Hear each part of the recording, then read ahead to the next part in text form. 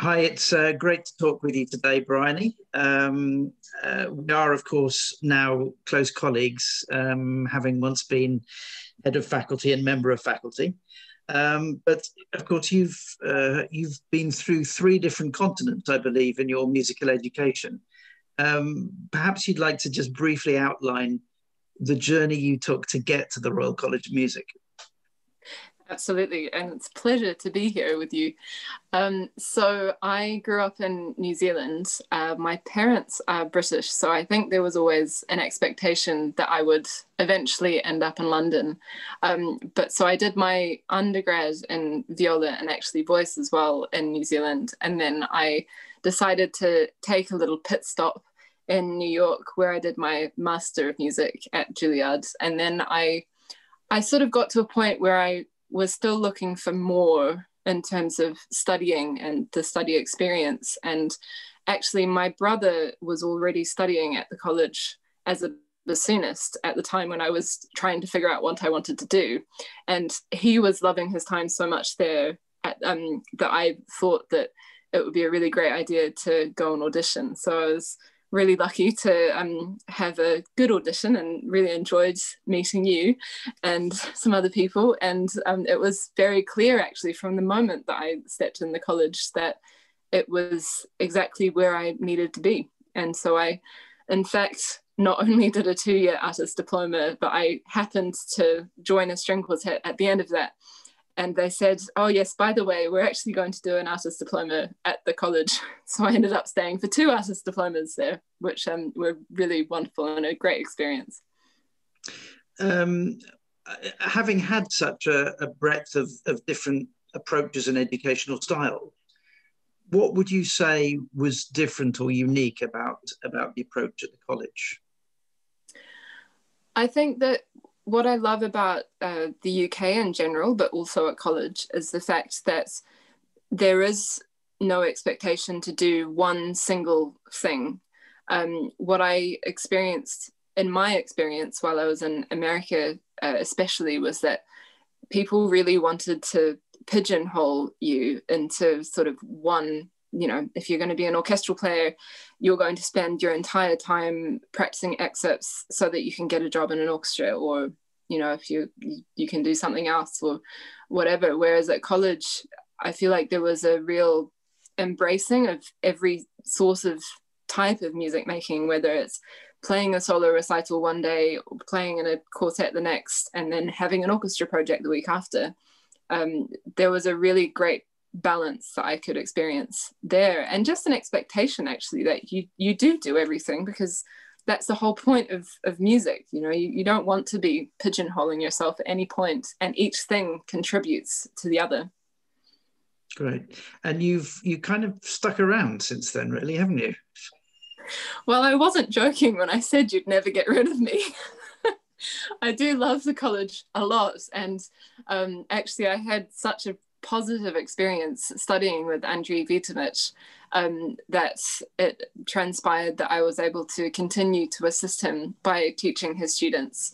Um, and it's been a really wonderful partnership to, to work with him and to work with the really talented viola players in his class. So it's been really a huge privilege to work with them. Uh, I mean, your work at the college is, is of course greatly appreciated, and and and uh, the quartet is is is still very active as well. But I mean, you you've you have also been very very busy within the orchestral field. Um, as, as you go through these various different uh, sort of uh, aspects of your professional life, what does it mean to you to be a, a Royal College of Music alumna? Well, I, I suppose it's um, being part of a special club, really. I mean, as it, even now, I, I meet people who were at college, and there is instantly an understanding between the two of us that you know, oh well, you you came from the same place. We we understand each other, um, but it's also just you know, wherever I go, I'm incredibly proud to represent the college, and it's you know it's the sort of place that I, I did actually dream of studying at when I was young. I, I looked up the college website as a teenager and I really wanted to go. So it's it really was a dream to to be able to complete my studies there and, and now also to teach so it's yeah it's it's a really special community to be a part of and you continue to be a member of that community even after you finish studying but you you must miss home of course I do, yeah, especially at the moment because it was very difficult to travel, obviously. Um, but I think the nice thing is that there are lots of Kiwis over here, and um, I always really enjoy meeting them. In fact, there's quite an Im- impressive Kiwi contingent in the college throughout all of the different faculties, and so it's always really nice to to hear that familiar Kiwi accent across the room.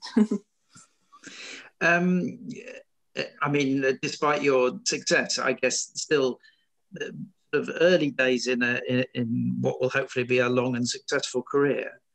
What is yet to do? What what what, what do you have a burning ambition to to get involved with that you haven't yet? Oh, well, it's it, that's a really good question, but also I feel like there's just so much more to explore within what I'm doing currently. So I, I think that the the biggest realization that I've had in the last few years is that I never want to stop being a student and I never want to stop studying scores and trying to get to the bottom of things. You know, it's it's just the the really great thing that I realized is that, you know, all of the things that you study at college if you choose to make it just the beginning of your quest for knowledge, um, then it means that you can study these sorts of things for a lifetime. I mean, it's it's kind of insane when I think about all of the classes that I did on on harmony or you know ear training, ev- everything that all contributes to the way that I approach analyzing scores and figuring out how to plan a string quartet. Um, and also teaching i mean it's it's all it's all really related and so i guess there's for me there's not one particular thing that i desperately want to do it's more about diving deeper into the world of everything that i am doing currently okay. I mean if you can throw your mind back a, a few years uh, not too many years to the beginning of your undergraduate studies what do you know now that you wish you'd known then? Oh, that's a really good question. Um, I it's a, it's an interesting question to ask, especially now when we have so much time on our hands. Um, that I think that I would have told myself to use my time responsibly. um, not that I didn't, but I, I think it took quite a long time for me to figure out that actually practicing is a really helpful thing to do. Um, and, you know, the more that you practice, the more that you can create a foundation for yourself, um, the easier it is to do everything else when the demands are placed on you. So, you know, not only and not only should you spend that time in the practice room, but you should take the time to get to know people to explore things and you know take it seriously but enjoy your spare time as well something like that think that's pretty good work-life balance. Yes. Great. Um, bryony it's fantastic to talk to you. Uh, thank you so much um, for everything that you said um, about college. Um, but you know the the compliments go both ways because having been a, a great asset as a student, you're now a, a very close and trusted colleague. Um, uh, I look forward to seeing you again in person very soon. Me too. Thanks very much. Bye. All right. Alice, it's wonderful to talk to you today. Thank you so much for taking the time uh, to, to have this conversation. Um, it's been, it's been a, a, while since you left college. When, we, when were you with us? I was at college from 2004 to 2008. So that's a really long time ago. Yeah. And what have you been doing with your life since 2008? Poof. Okay. Uh, phew. Um, lots of things. Lots of things. I basically I got I, I was quite fortunate in 2008 that I actually joined a small chamber ensemble that uh, used to, um, as of last year, do lots of concerts. That's the um, in the Fields, the church just off Trafalgar Square. So I was quite fortunate that that sort of sprung me into freelance world of bass playing in uh, chamber ensembles and orchestras. So I was really fortunate. And then through that, um, meeting people, I just basically grew my freelance career as a double bass player and um, built it up. And it took quite a while, but I reckon after about five years, it was fully, is pretty good. Um, and I've just been enjoying it ever since. So I do a lot of work with big symphony orchestras all across the UK, chamber orchestras. Um, I do a little bit of teaching to bump that up, the bit of the income up. And I really enjoy education outreach work. Um, so I sort of threw myself into that. Just, in fact, during the end of my college years, I met a few people that um, work really heavily in certain education outreach departments. So the Royal Albert Hall and LSO Discovery. And I became really good friends with them and then worked with them and that kind of grew as well. So that's kind of what's been happening. Um, yeah, and it all changed this year, but up till that point, it was lovely going in and out of orchestras and touring and having lots of time and playing my double bass. It's good. Yeah. Great. And of course, uh, you've been working with a, a, great friend of mine, Nikki Benedetti. Uh, how, did yes. you, how did you get involved with, with Nikki? So, oh, Nikki, she is just an absolute angel. She, we love Nikki. I met, I've met Nikki on and off over well since leaving college on and off playing in orchestras and then she'd be there soloing and i'd just go and chat to her. Um, and she's lovely. So i met i've met her on and off from a performing point of view but then um, i really got to know her because i was doing a project at the royal albert hall with the education department there. And they'd invited nikki to come along and do a workshop um, for college students, uh, the academy students and Royal College students, and I think they might have invited some Guildhall students as well. So um, Nikki was running it, and I was there with the double basses, basically helping out. And we got chatting, um, and we've got very similar views of education outreach and things. So then, when she started her foundation, which is about a year old, it's really quite new. Uh, she got in touch with me and invited me along to help help out with the foundation. And um, and it's amazing. It, she's got just the most amazing exciting enthusiastic people on her team to teach children of all ages and to inspire kids and also to support teachers parents guardians. Uh, she's sort of got everything covered. So yeah so we just that's we just get on and have a lovely time and make music and inspire people hopefully. So yeah she's great though. Love nikki yeah. So so if we turn the clock back um uh, not too many years but uh, i mean you were talking about inspiring people with with your work. Who who was it to or what was it that inspired you to to take up the bass?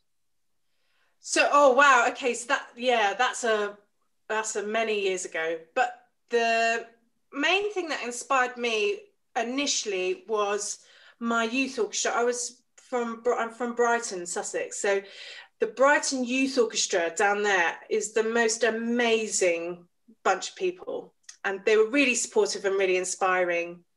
Um, and then I, through them, met Matthew Gibson, who's a double bass player of the London Symphony Orchestra and he was probably my first main inspiration. He's just such a gentleman, an amazing bass player, and I just wanted to do what he could do on the double bass. And then through that, I started to investigate who taught the double bass at various places. Um, and I then got in touch with Caroline Emery, who was my teacher for most of Royal College. I went to junior department with her, and then I went to senior college. Um, and then I switched to Tony Hougham at who's from the Royal Opera House. And I just love that world of the opera world. Um, and I, I, that was all my inspiration. I was like, oh, this is all amazing. I want to do what they can do. You know, what Tony does in a pit in the Opera House, I want to do that. So I sort of, and what Matt does in the LSO, I want to do that. So that was kind of my draw, if you like. Yeah. Great, and uh, I mean, you you described what a full diary you you had as a, a freelance player, and hopefully will have again very soon. Um, and and I kind of know what it's like being a full time freelancer. You you spend a lot of time, you know, in the car or on the train, and uh, and and the dates are fantastic. But actually, when you're successful, it doesn't leave a lot of time for anything else. So uh, during this this this last few months, have you thought about perhaps other aspects of playing or other types of playing, stuff that you would like to explore that perhaps you haven't had the opportunity to? Definitely. Yeah, that's a really good question because you do just put in the orchestral dates in the diary and fly around doing it and have a great time doing it. But with that all gone, it has made me go, well, I love orchestras, definitely. But I have actually been drawn to certain really amazing solo pieces um, and very small chamber pieces that have been really i've had the time to learn them in lockdown one and two. And um, and also you kind of it's forced one to take a step back and go i don't have to do orchestra every single day of my life. If i don't want to i could prepare you know, Bottesini, Grand Concertante, and and have a lovely time cra- playing crazy solo music as well. I could do that. So um, yeah, definitely, it sort of draw my eyes to different types of music and yeah, just yeah, explore more stuff. Definitely, yeah. Uh, as you go through your career, um, perhaps it might be quite difficult to articulate, but but what does it mean to you to be a an alumna of the RCM? Uh, it's I think what does it mean to me? I think the main thing is the amount of amazing friends and musicianship that come along with it that you take from that I've taken from Royal College so even now, I'm bumping into people that I was at college with. They're incredible musicians, and we're all friends. And we make music together regularly. And that is huge. That is like, we're still in touch. And then, you know, when things are back to normal, or when things were normal in orchestras, you know you're bumping into people that maybe you haven't seen for a while but then you can kind of click back into it and be like oh we were at college together. And do you remember that awesome concert we did with Haitink or something? That was amazing and Mahler too wow wasn't that great? And you can reminisce and stuff but they stick with you and you keep bumping into people um, and and also intriguing how a lot of musicians are I mean like Nikki is in, she's incredible. She's incredible. And you bump into all these people, but you can also bump into people who've done different things as well. They've just taken their own slightly different path, I don't know, teaching or chamber music or whatever. Um, so I think for me, it's the the music that sticks with you and the friendships and the memories and the fact that you you're still going almost, you know. Yeah, I guess. Right. Um, one last question um, to put you on the spot. I've been asking everyone this. So, um, with your all of your wisdom and experience uh, that you have now, is there something that you know now that you wish you'd known when you first started your undergraduate course at the RCM? Not necessarily known, but I wish I'd taken more advantage of the library. the library has got so many uh, uh, everything it's got everything in it and i just didn't take advantage. I think i sort of clocked that the library was uh, just had so much stuff in maybe my last year and suddenly went oh my god all this music and tried to and there's not enough time. I think if i yeah i think go to the library and use the practice rooms and and ask people questions you know. Yeah i'd use all the resources so to give you your due, I mean, you weren't exactly idle and doing nothing. So you know, I, I think you were one of the busiest people I um, I knew at the college. So you know, all, all credit to you. And and indeed, I guess that's how you made so many great contacts. Um, so. Uh, listen, Alice, it, it's just amazing to talk to you. Catch up. I actually saw you at the Albert Hall at that at that Benedetti gig. I don't know if you remember. I was there with the with the crew from the RCM. Oh God, of course you were. Yeah, yeah. Oh, it was so fun. We were playing something really nice. Bartok. Well. Maybe it was. It was Bartok. Was Bartok? Yeah. Yeah, yeah, yeah, yeah. It was really cool music. Yeah, and Hetty was there as well. She was guiding the cellos, and yeah, a nice gang of people. Yeah. Oh, it's fun. Yeah, love it. Lovely to talk to you. Um, and um, I'm sure we'll catch up again soon and hopefully in person before too long. In real life, amazing. Can't Great. wait. Thanks, Thanks Mark. Alice. Thank you. Take care. Bye bye. Daniel, it's it's really great to meet with you this morning. Thank you so much for taking the time to talk to me. Um, uh, I, would like a, a, a, to start with, I think, just to wind the clock back a little bit to, to, to, your early days as a harpist, because you actually started the harp very early, didn't you? I think was it age five? I did, yeah. Can, can you remember what what prompted you, what inspired you to, to want the harp? Yeah, so my my sister um, plays the violin, and uh, she's nine years older than me. And I remember my mum taking her to junior college, junior RCM, and um, every, every Saturday, and I used to tag along. And I remember um, when she was rehearsing uh, in orchestra, uh, orchestral re- rehearsals in the concert hall, the harp room used to be just towards, just on the, the, the left hand side there um, which would now be the, the green room, I'm guessing. Um, and the, the harp room was in there, so I just strolled in there, and uh, Daphne was in there teaching. And I remember her um, getting me on a, a, stool and, and helping me to play uh, Baa Baa Black Sheep. That was my first my first uh, experience of playing the harp. And it was just just the size of the instrument at the back of the orchestra that attracted me to it. And i was three at the time and i was way too small to to start. So i started when i was five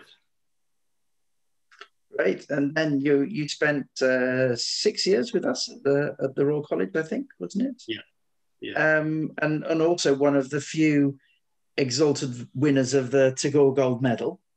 Um, as as recognition for for your not only your your your your progress, your development, but your achievements and your contribution at college. How how did that feel at that moment? At graduation. At the Tagore when you were when you knew that you got that that special. Oh gosh, I I I wasn't expecting it at all. Um, so that was at the graduation for my master's degree, and um, yeah, I, I couldn't I couldn't believe it really. I'm I I often think back at uh, when I when I won that. How how long ago was that now? Two thousand and eight. Um, and I'm still I'm still filled with pride and also not sure why I won it either. it's a bit of kind of wow, thank you so much for for thinking of me and putting me forward for that. And yeah, it, it was just, it was surreal. It was surreal. It was like an Oscar moment, I'm, I'm guessing. I don't, I, I'm not sure yet. I need to win an Oscar. So, um, so, so then, then you left us. Um, what, what sort of stuff have you been doing um, since then, and, and and and and what were the initial steps into a professional career? Um, so the the year I left, I think it was the following year, 2009. Um, uh, I did the uh, London Philharmonic Orchestra Future First scheme, which is great because you get to rehearse with the orchestra, um, play concerts with them. Some some of them they choose. Uh, what, what you do, do educational outreach with them. I remember doing educational outreach in a library with uh, their uh, one of their educational uh, leaders there um, in Brixton. So it, I did travel. I'm, I'm, based in North London. Um, so that was quite varied um, within that year of doing things. Most of what I do now is orchestral, which is the thing I love doing. I think actually that was one of the things that professors and staff thought about when they were considering me for the, the Gold Medal, is that I was always, uh, I always wanted to, to be an orchestra. And so if someone dropped out or anything like that, then I, I would be there. And I think I, I was doing a lot of orchestral playing, even at college, which was amazing. And so, yeah, just moving forward, I that's most of what I do is orchestral stuff. So, um, on stage live concerts with various orchestras, um, and I do a few sessions and a tiny bit of teaching, not at your level, Mark. Good. And um, I mean, it, the, last uh, 10, 12 months has, has uh, affected us all in some way. Uh, how have you been? How have you been filling your your days and your hours since March last year? I've I've tried to keep to a schedule. I think I work well when I have a schedule. If I have nothing to do, this is just me personally. I think that from a day to day, on a day to day basis, that uh, my it just I just collapse in terms of not having something to work towards. So it's been a little bit like being back at college because I'm not expected to go out and work. I'm not expected to to get ready in the morning to go out to do a rehearsal and then a concert. So I've got I've got that time back, which is which is in some ways priceless, and no one can blame me because everyone's in the same boat, more or less. Unless unless you're a, a big time session musician, in which case you can continue doing what you're doing to a certain degree.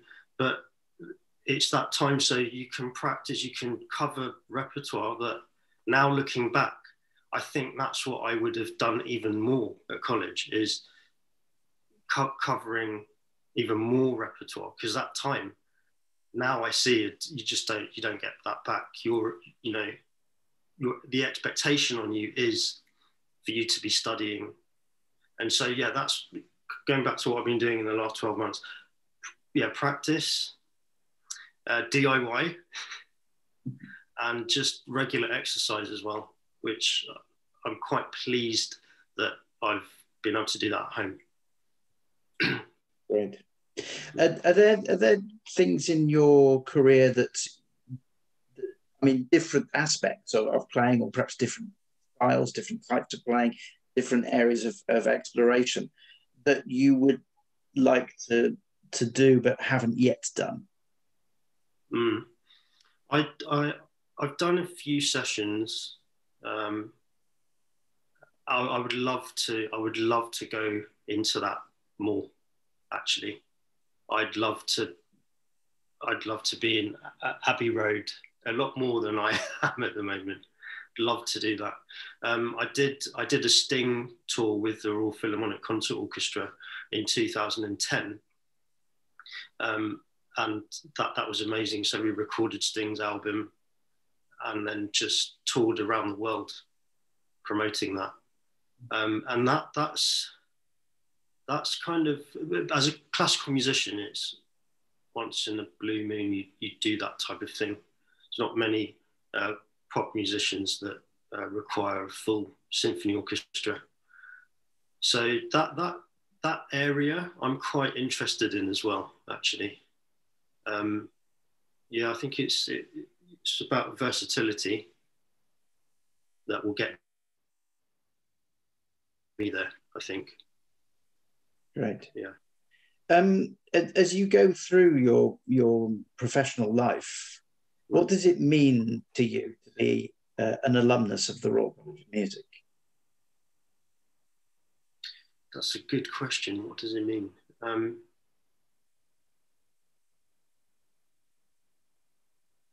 I am going to be quite blunt. I think be, being at that college has has put me up for consideration with work. Uh, because of the name, because of the launch pad that it's given me. Um, and when people see when people see that name, they take you seriously. And and for that reason alone, I'm very pleased that I did. I, I, I went, I, you know, I don't have to say I won the Tagore medal. The RCM having a, a, degree there is, is enough. And I think that, that it's, it's a launch pad. And yeah, I, I hope I'm not being too blunt by saying that. I mean, you're, it, you're, you're, you're very kind in your comments about uh, about the college, and uh, you know I, I have to concur in, in some degree. I, I don't think either you should uh, run down your own abilities because it might get you into consideration, but of course you, you still have to deliver the goods to the people you met. Sure. Sure, I think I think it does. It, it, it, it jars the door open at least for the gap for you to prove yourself. Yeah, yeah one last question, I guess, and, and, you, you perhaps touched on this when you were talking about covering lots of repertoire, but yeah. if you, is there something that you know now that you wish you'd known when you started uh, music as a first year undergraduate? Um,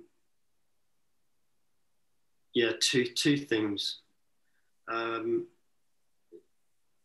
you never get that time back being at college. You never get the, the, the time back to to learn your craft in terms of covering repertoire. You don't get the time back to to to play with other people. So as an orchestra, I, I, see myself as an orchestral musician. Um, and I guess I'm asking myself, what would I do differently at college if I went back, I'd do a lot more chamber music because I think that ch- the chamber music is the, the cornerstone of every uh, orchestral musician. It should be anyway. And so I'd do a lot more chamber music at college. I'd cover, I'd try to cover a lot more repertoire. Um, and also just be a little bit more proactive. I, I feel like I was late to the game when I left college. I think that there there are two different two different parties of musician that leave college. There's proactive, and then there's people are a bit slow to the game, and I, I put myself in that category. I'm not now because I know what I need to do, and I think that second thing would be to be proactive, make contact with orchestras if that's what you want to do. Whatever area you want to go into, try and make that contact even at college. Um, because when you leave, it's possibly too late. Your peers have already, some of your peers would have already made contact. Um, so you want to you want to make that contact. Um, I think that's yeah, yeah, yeah well, late to the game or not, you you seem to be doing okay for yourself, Daniel, and uh, you know it, it's wonderful to catch up again. Um, and uh, I still remember the the days very clearly of your of your participation in in in your in the many musical activities at college. Um, modest as always, but uh, but I, I remember your wonderful playing as well as your modest personality. So thank you it's it's wonderful to catch up again. Um, best of luck with everything, and uh, and I hope we have the chance to catch up again soon. Thanks, Daniel. Thank, Thank you. you. So, Laura, thank you so much for joining me today to have this chat. Uh, it's wonderful to see you again and to catch up. Um, uh, you are one of those people, I think, who uh, has the uh, the privilege of being the composer performer or the performer composer. I think something which perhaps uh, 21st century musicians are missing. Um, were these always dual interests for you, or did you develop one out of the other? Yeah, they were always together, but actually, I think I was writing before I started playing the guitar because mm. I was composing little songs on a tape player and um, yeah, like composing lyrics, composing melodies, even though I couldn't play an instrument. So I recorded them on the tape player so I could remember how they went. And that was actually the first musical activity I did. Uh-huh. And and what age was that?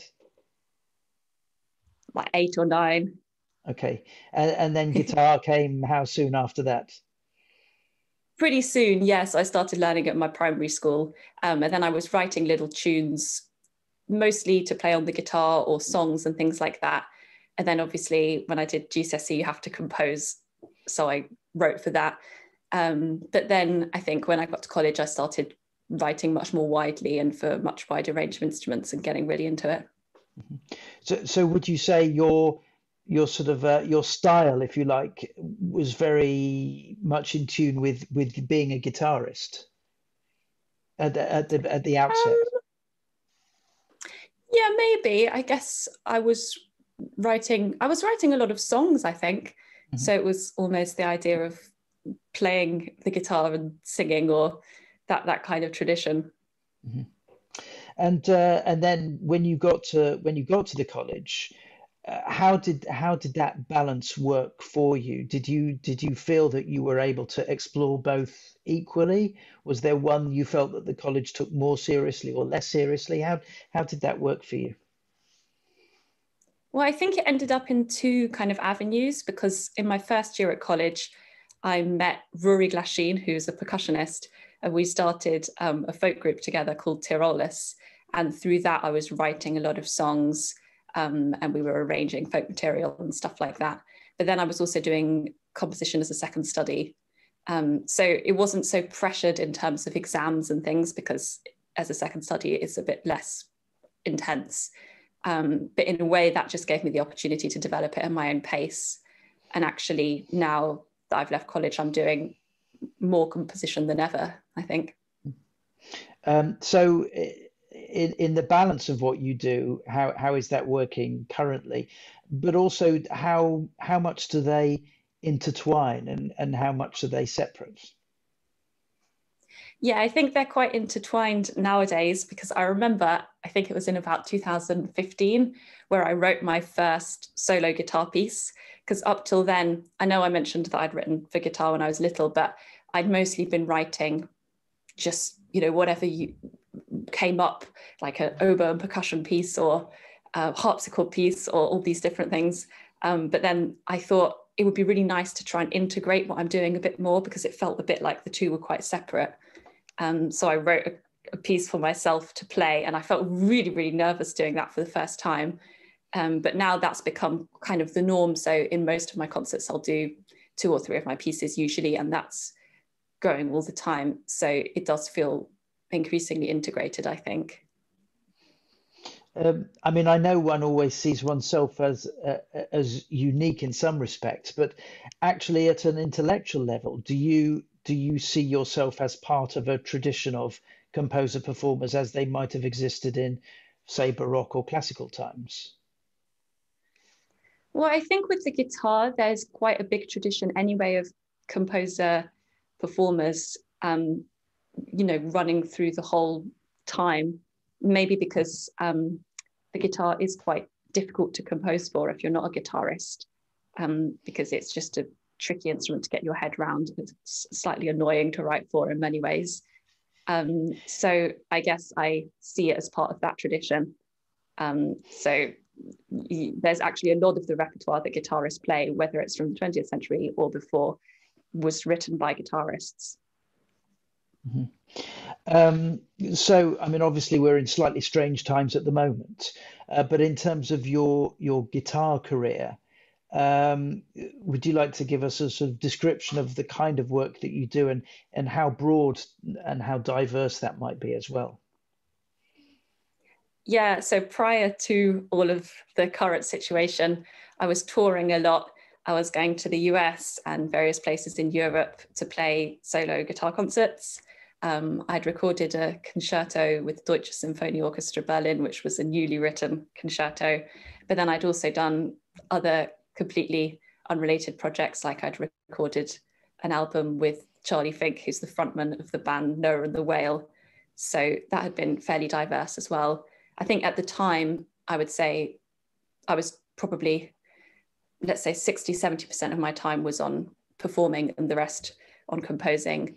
Um, whereas now I'm doing much more composing because there's no concerts happening. sure. Okay. As you as, as you develop as a as a musician and as you as you become more well known uh, globally, what does being an RCM alumna mean to you? Um, I think when I was at the RCM, I met a lot of really great people. So I think a lot of the projects that I've ended up being involved with are through connections that I made when I was at the RCM, like with the folk group. Also, Juyeon Sir, the violinist, who's my best friend, but also um, she um, is a really interesting collaborator. We've worked a lot on various composition and performance projects together. Um, and I think there were other things at the RCM that may be a bit behind the scenes, like the Alexander Technique or the Creative Career Center, that for me were both really, really influential. So I think I carry through quite a lot of those influences to my life today. Great. And, and from your experiences, uh, at, at your time at college, but also uh, out in the in the profession, what do you know now that you wish you'd known when you first started at the Royal College of Music? Oh gosh. Um, I mean, to be honest with you, I think being a musician can be quite mentally challenging. And I maybe wasn't completely aware of how difficult it could be and um, didn't have all the tools available. So I sort of wish maybe I'd found out a bit more about that earlier um, and received more help earlier, which I think I ended up getting into that a bit later on. Mm-hmm. Great. Okay. And uh, uh, in terms of your your own development and, and your eye to the future, I mean, uh, obviously to some degree we're reactive to, to to the opportunities that come along. But but what's on your list of things that you have yet to do but you would love to do? Um, I have quite a lot of creative projects that I want to do, pieces I want to write um, that are maybe on a bit of a bigger scale. Um, so I think it's mostly just particular creative ideas and things that I want to express. Um, but more and more, I think I mostly just want to have a nice life and, um, you know, be like sort of feel well and happy. So I don't mind too much exactly what I do. I almost feel that I'm less ambitious now than I was. Um, but I certainly have just various creative things that I'd like to do. Great. Okay. Laura Snowden, thank you so much for joining us today. Um, wonderful to have a chat with you and to catch up. Um, best of luck with all of your projects, and uh, and I'm sure you'll be on the road again very soon. Thanks, Laura. Yeah, thank you very Bye-bye. much. Hi, Claire. It's lovely to be with you today. Um, uh, of course, it's it's a few years since you were a student at the Royal College of Music, um, but I know you've kept in close contact uh, with us since then.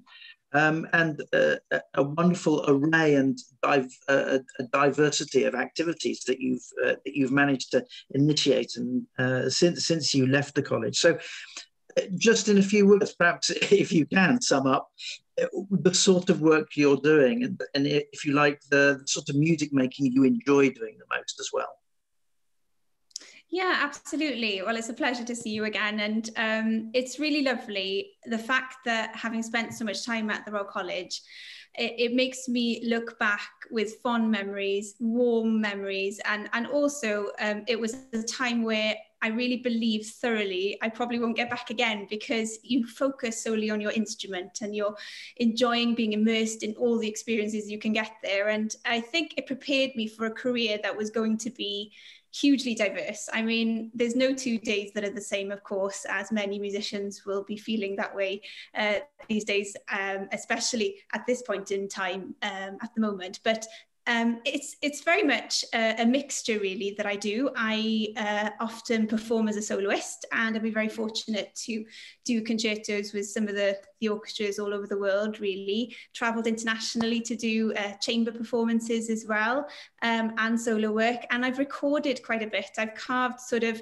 a kind of niche for myself in that industry where um, I uh, managed to sort of um, hit on really a sound world that didn't really exist before between harp and strings. And my husband, Chris, he is a composer and arranger who helped me to achieve that. And so I've recorded with people like the English Chamber Orchestra, the Philharmonia, and fortunately I signed with labels such as Universal and Classic FM along the way. Um, and of course, you know, one of the probably major milestones people will know me for is my post as the former official harpist to His Royal Harpist, uh, His Royal Highness, the Prince of Wales, of course, um, which I fortunately um, was appointed when I was at the Royal College. So it was my final year at the Royal College. I'm sure you can remember that um, that day when that happened. Uh, that must have been uh, an, an incredible moment. Uh, I mean, do you feel that? Within all of the different range of activities activities that, that you have do you feel that that sets you on a on a certain path did it have a, a, a significant influence in what you did after that yeah, absolutely. Like uh, being from Wales, one of my major goals was to hopefully to be the Royal Harpist one day, as I really felt it could really set me on that path to help me launch my career, to give it a springboard. And that's exactly what it did. I played 180 times for the Royal Family. Um, and I also played in all the Royal Residences. And um, of course, I played at the Royal Wedding for William and Kate as well. So that really catapulted me into that sort of um, scene of being kind of a commercial player, such in a way, because I had to do like about, I think it was 800 live um, TV networks at the time, you know, and so it really puts you to the test and and really sort of makes you uh, approach things a bit differently because obviously with the harp being quite a niche instrument as well in the kind of common regard, um, I was really trying to sort of spearhead and fly the flag for the instrument and not just that really for um, my whole background of, of the education I'd had. So um, so it certainly did give me that that really special time in my life to to launch it my career now if we if we turn the clock back even further than that of course uh, when you were uh, when you first came to the Royal College of Music, I also knew you as, as a violinist. Um, it, it, what what prompted you? What directed you? Directed you in the in into the into the harp as opposed to the to the violin, or indeed did you have other options that weren't music related as well? Absolutely. Well, my story is a little bit different and actually i think looking back now really unique because in a way um, i don't know that many people who might have maybe done what I did in that way because of the fact that I went into the college as a violinist. And after a year of playing, I was obviously doing the harp as a second instrument. And my wonderful teacher, Ieuan Jones, was so inspiring and so encouraging. I loved both instruments. And he was saying to me, well, why don't you do joint first? Do, do both, you know?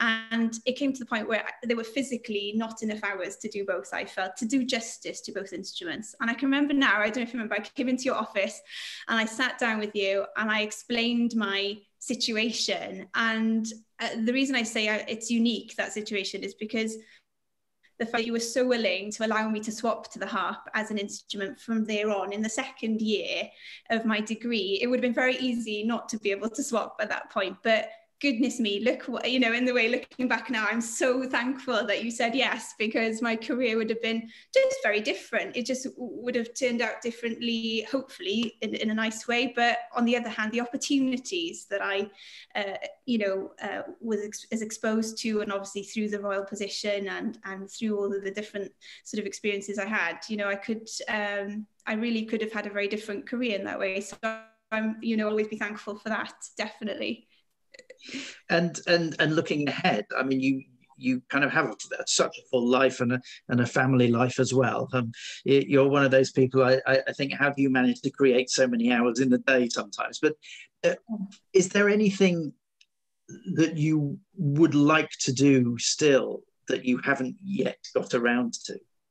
Oh, definitely. There's always stuff that you want to do, and and me in particular, I'm so passionate about my instrument in which I know many people watching this will be feeling exactly the same. Now is the time to really put the time and effort into that sort of creating opportunities, being in that that sort of surrounding like the RCM, where you can kind of forge relationships forever. You know, I have people who are best friends still with me now since my time in RCM, and I have people that we we sort of share work and we sort of keep in contact, and I create projects with people as well. And that probably is the biggest bit that I want to keep on doing. Really is I'm kind of seeing myself as yes, a musician, and I'm I'm very much so a musician, but I'm kind of an entrepreneur in a way that I'm trying to create different projects and work. And that's what I've done uh, over the years with some harp ensembles that I formed for young and youth uh, level players, young professionals, where I've done groups for those types of people.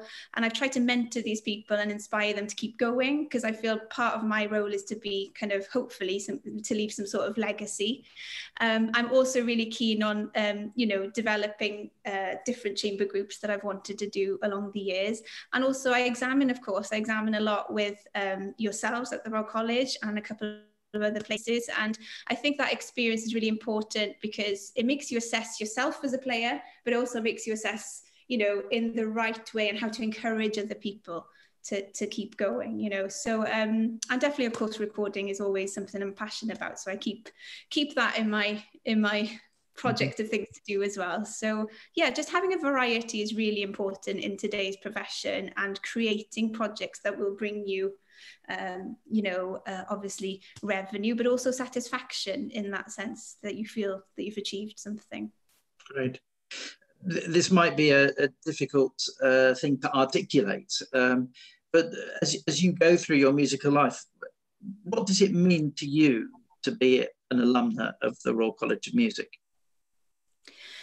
I'm really glad you asked because I'm really passionate about this one point if I had not have actually entered the Royal College of Music and have walked across Hyde Park, across past the Albert Hall and into the, the, the front doors that very first day I arrived, I don't think I would have had maybe the depth of insight that I have had into the music industry and profession right now. Looking back, that day changed my life. You know, coming to music college, I actually came from a, a, state school in West Wales. I hadn't necessarily been immersed and surrounded by uh, maybe like-minded musicians. I mean by that as seriously as I was into music. Um, so it was really quite a new thing for me to be in with music school students um, and, you know, uh, sort of people from all over the world, you know, of course. And so that whole environment really was what where I thrived. I feel like I put the hours in and I enjoyed every second of it. And I found it so interesting to see how other people would do it. And you learn so much from that. Not only just your, you know, of course, you have fantastic mentors, teachers, conductors, you know, master classes, all sorts of like world class stuff going on. But in addition to that, the social side and the support network and that environment, it was really friendly, but also good in that it sort of pushed me to work harder because you're surrounded by people who are so amazing. So I think that's possibly the lasting effect it's had on me is that it's made me really thankful that it gave me that sort of focused insight into the industry from the word go. Great. And um, if it's possible in a, in a one sentence answer, um, mm-hmm. piece of advice to people either going into conservatoire now or thinking about the future, the future of music and profession in music? I think, uh, in a sentence, open mindedness, positivity, strength, determination, commitment. Uh, those are the, probably the five things that you need to succeed right now in the music industry. Because if you've got those, you know, attributes, you won't go wrong. Brilliant. Um, Claire, it's been wonderful talking to you. Thank you very Um, I'm sure we will see you in the building as soon as we are allowed to see you in the building. Um, and uh, and um, good luck with all of your projects to come.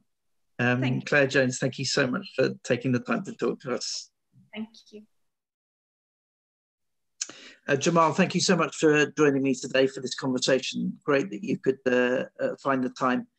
Um, uh, I mean, obviously, we worked very closely together when you were at at college, um, which was um, a great pleasure for me. Certainly, I hope it was for you also.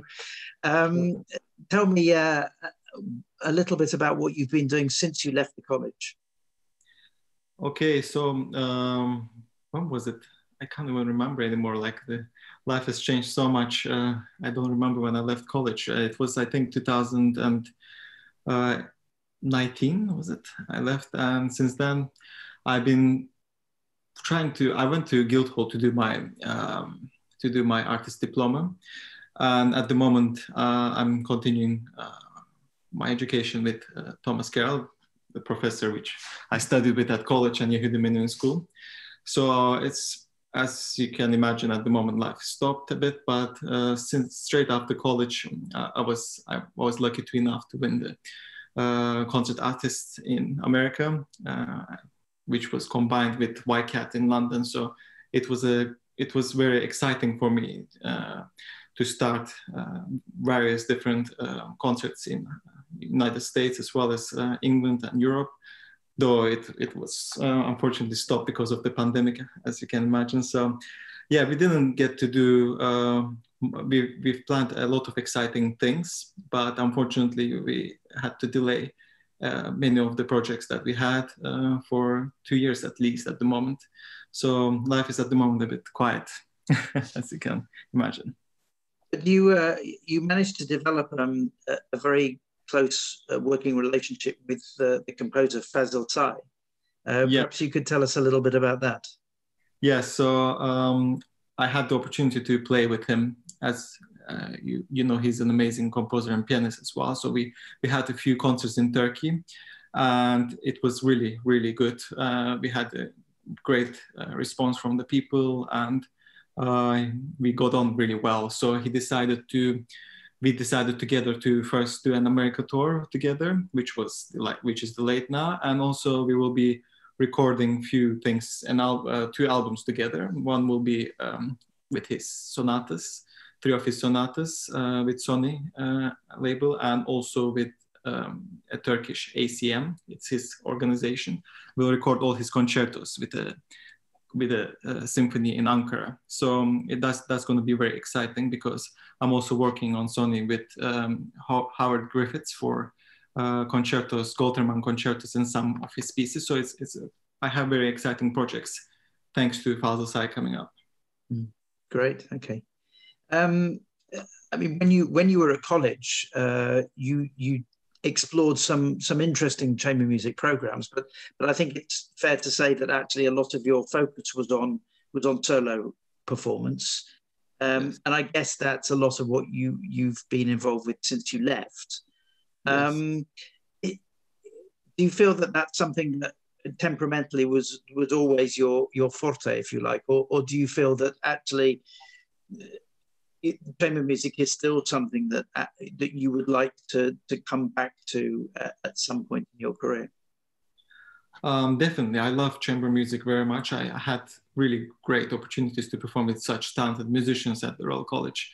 Um, it's just after that I found it a bit difficult with um, being being able to find the time to rehearse and arrange schedules as well as doing solo, which, like you say, was my main thing since the, I started at the Menuhin School. And um, I definitely enjoy it very much, especially the trio repertoire, and I will definitely want to do it again.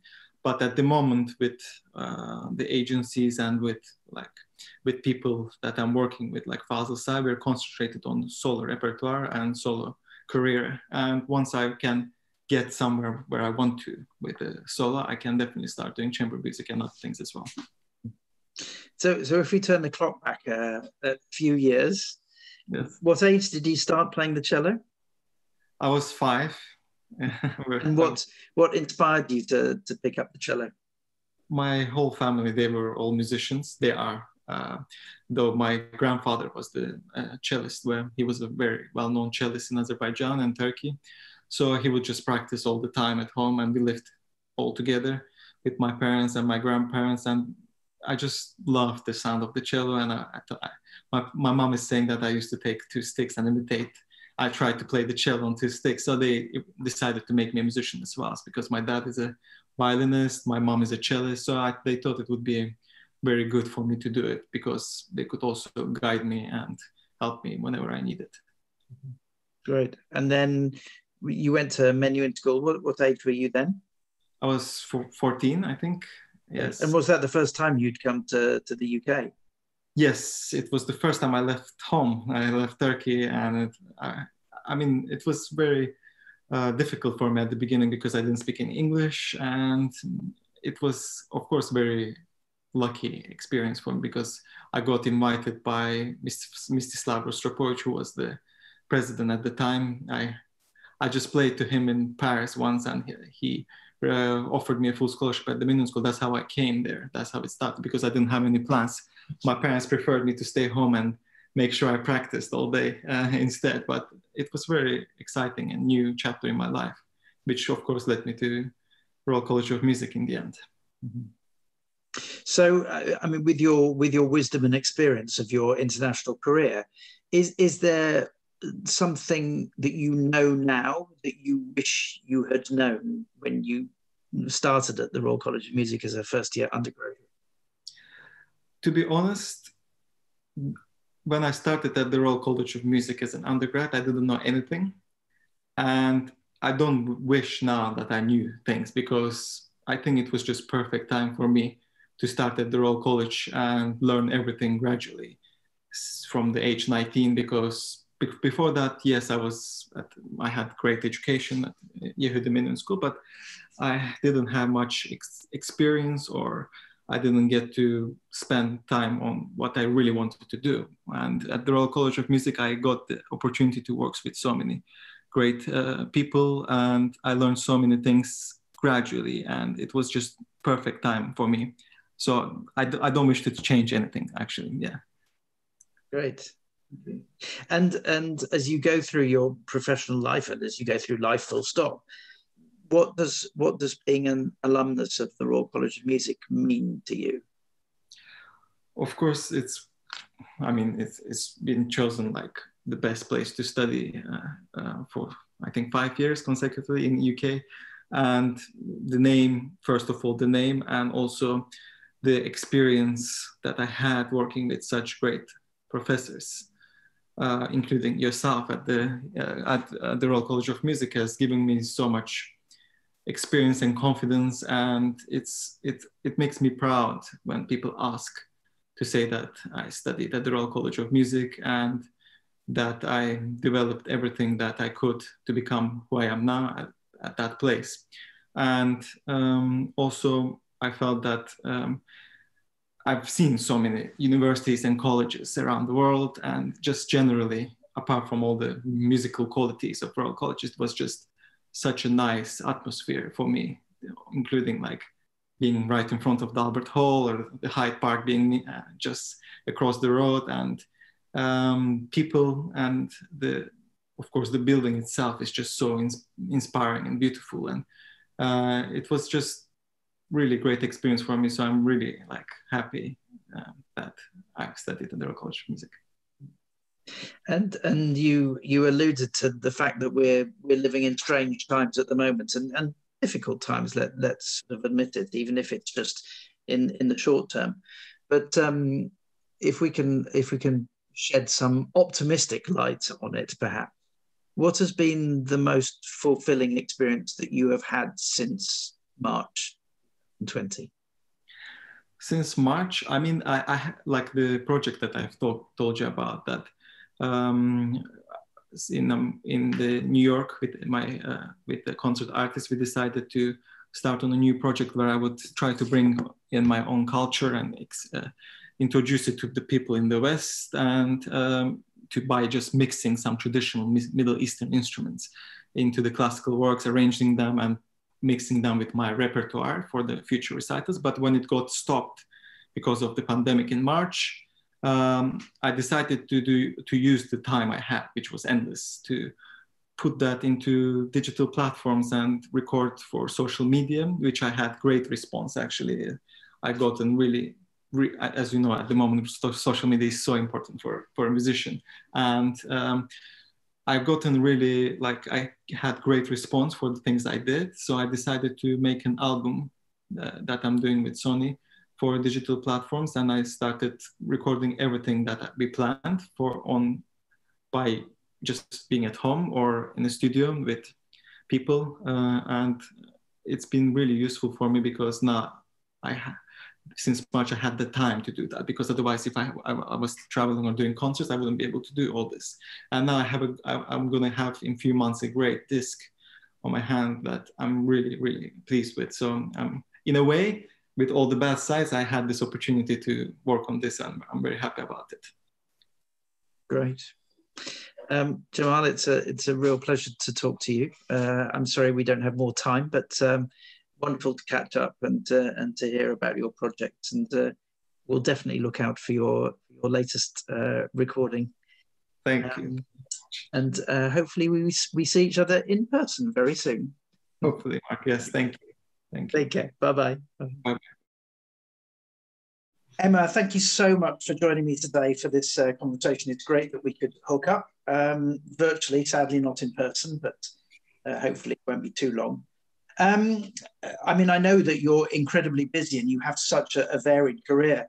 And I guess there was some indication of that even when you were at college. Uh, um, a violist in, in one of the most successful quartets we've had at college, uh, leading symphony orchestra as a violinist, playing Berio Sequenza in your final recital. Um, were you always this uh, musically curious and diverse, or was it something that evolved whilst you were a student? I think that's really interesting. I don't know if I've asked myself that before. I think it's actually something that did start at college, really um, when I was at school, I was obviously I loved the music I was playing, but I didn't necessarily have that kind of drive to be going out and discovering new things and kind of learning new, um, totally new skill sets as well. Um, but at college, the there was just this like whole world that I didn't really know existed before I went, um, and being able to learn with so many different people um, about so many different things just really kind of sparked something. Um, I think my professor had a lot to do that as well. Um, I studied with Daniel Rowland, who uh, is um, just incredible and one of the most creative musicians I think I've I, I know, um, and that definitely kind of rubbed off on me and my um, just how I felt about music and um, being a musician as well. Just that excitement to always be doing something different, and that's something that's like really followed me into the years post college as well. Um, it's normally not not quite in uh, pandemic times, but normally no day is the same, and I'm um, doing different things all over the place. So yeah, it's it did start at college, I think. Was it strange for you? I mean, you, you were in quite a unique position, I think, in, in some respects. Was it strange for you the fact that probably more um, people knew you first of all as a viola player rather than the violinist, even though violin is your principal study? I didn't actually realize that until I was in maybe fourth year and someone came up to me. I'd been leading the um, symphony orchestra and chorus concert, and someone came up to me after the concert and said, "I didn't know you played the violin." And I that was really alien to me because the two have been absolutely entwined the whole way through my learning experience. I started playing the viola when I went to Chetham's at 16. Um, I started playing the viola and I just loved it. And it actually, I found that it really informed my violin playing, and my violin playing really informed my, my viola playing. Um, and so they just have always coexisted perfectly happily in my mind. And I've never considered myself as either, really. Um, so, th- yeah, it was very confusing when people did say that to me. Um, but I do, yeah, I, I think the two skills are um, just so compatible. And actually, that attitude of being versatile and taking kind of bits from different aspects of your learning and um, compiling them into the musician you want to be is a really powerful skill. I mean, I, I think in a way it's it's uh, when I say old fashioned, I don't I don't mean out of date, but uh, you know, you look back at some of the great Russian artists, for example, people like Slava, people like Rostropovich, who was just a phenomenal um, pianist as well as uh, uh as the cellist that we all know him as.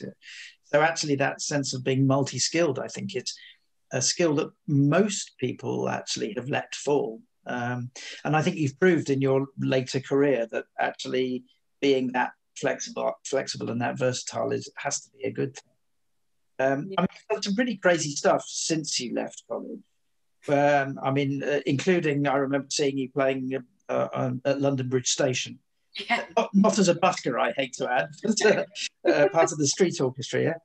Um, what's the? What do you think is the wackiest, craziest thing you've done since since you left? Oh, that's really hard. I think I did an absolutely crazy education project um, in November 2019 um, with Charlotte Harding, who's also an alumni of college, um, a fabulous composer. Um, and we're both quite passionate about folk music, which is another of these kind of, um, you know, side projects of mine. Um, and we went out to Beijing, Singapore, and Malaysia. And in nine days, I think we did 16 workshops um, both performing for and working with the children to kind of um, encourage a creative attitude um, to music making.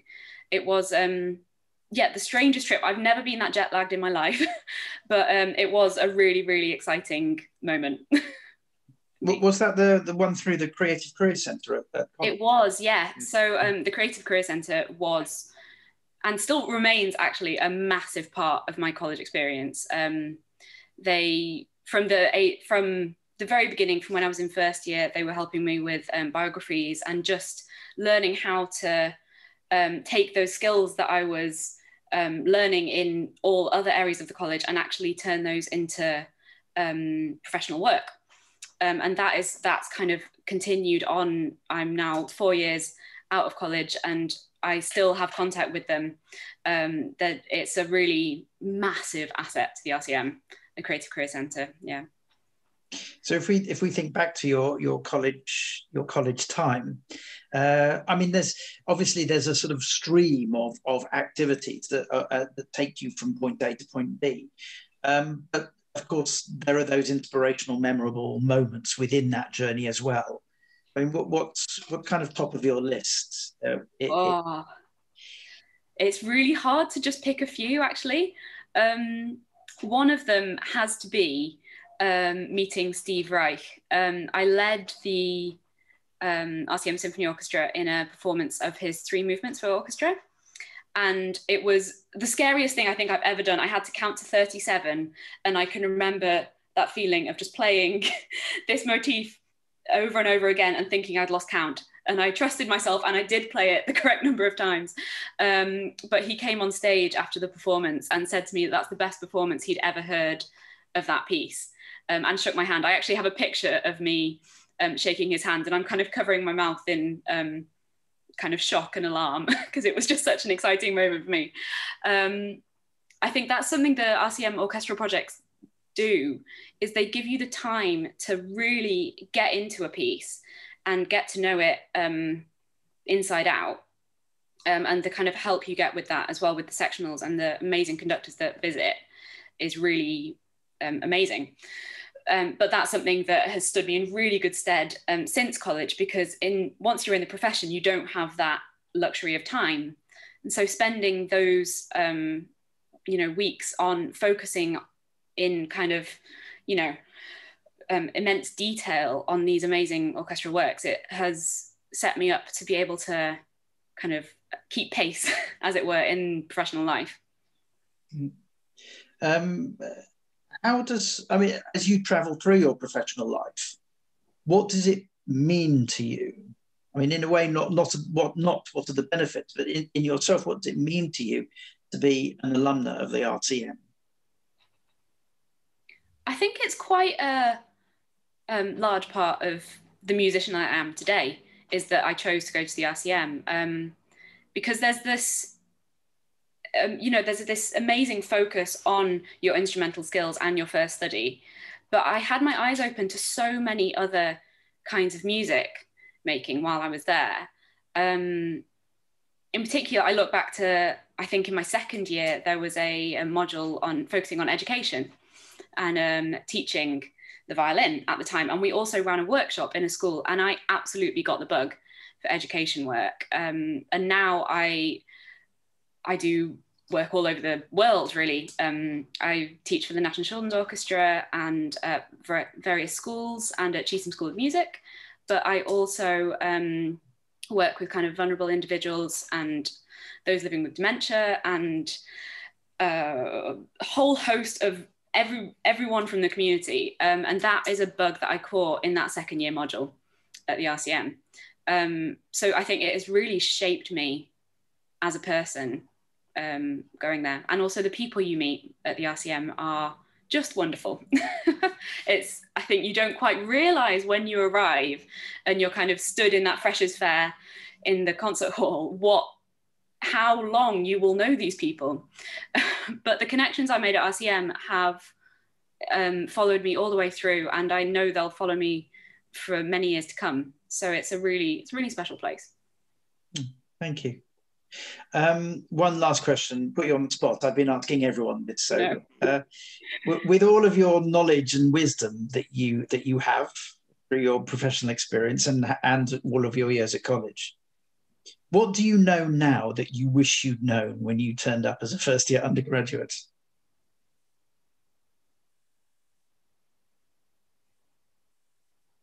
Oh, that's really hard. Oh gosh. I think that those years are really precious. Um, since I've graduated, uh, obviously I still practice and I still make time for keeping my core skills um, where they are. But actually, those four years of my undergraduate were where I really learned to play the violin. Um, and I, I really miss those practice rooms. I really miss uh, that supportive environment and just being able to you know knock on the door and say oh do you mind listening to this movement um, to one of my friends and that was a really that's where i learned to play the violin in those four years um, and so it's a really precious time and you have to use it really wisely i think that's what i wish i'd told myself from day one the question is would you have listened to yourself though that's a totally different one Great, Emma. It's uh, it's such a pleasure to talk uh, talk to you. Uh, thank you so much for, uh, for, for finding the time. Um, I have to say that um, you know you're such a great ambassador for the college as well. Um, not overtly in what you say, but actually much more in in just the way that you are as an artist and, and a musician. And I think uh, you know without sparing your blushes, um, I, I think if I can, if I would like to try and define how I would like an RCM student to be when they when they move into the professional world and become a fully fledged artist. And you're the epitome of that. So very much for for uh, keeping in touch with us. And as you say, I'm sure our wonderful uh, musical relationship will go on for many years to come. Thanks, Emma. Thanks. No, thank Bye-bye. you. Bye. Uh, Alina, thank you so much for uh, finding the time to talk with me today. It's a, it's a great pleasure to, to, to have a conversation and to catch up. Uh, so thank you. Um, uh, let's talk a little bit of, about you and your career first, I think, because it, I think it's a very interesting professional profile, uh, but I think one that you've very consciously developed in a, in a certain way. Um, uh, tell me, at what stage do you think in your development did did you start to make personal choices about repertoire and the kind of music you would be playing? Uh, I suppose that uh, started off quite early. I um, I was already at when I was at school. I was already quite experimentative. I I, I, I wanted to I don't know do things slightly differently. I was um, uh, approaching music in a possibly in a slightly different way to how um, how I saw people do it around me, and and um, yeah, so so all of that started early, but I uh, I have to say that I it's very much thanks to the support I had around me that that I yeah that I felt I could do that. I mean, you come from, I, I guess, something that's very unapologetically a, a, a, Russian school of, of violin playing. Certainly, that was your, your teaching at the beginning. Um, as you've developed, how important is it that sort of pedigree, that foundation to, to the beginnings of your playing?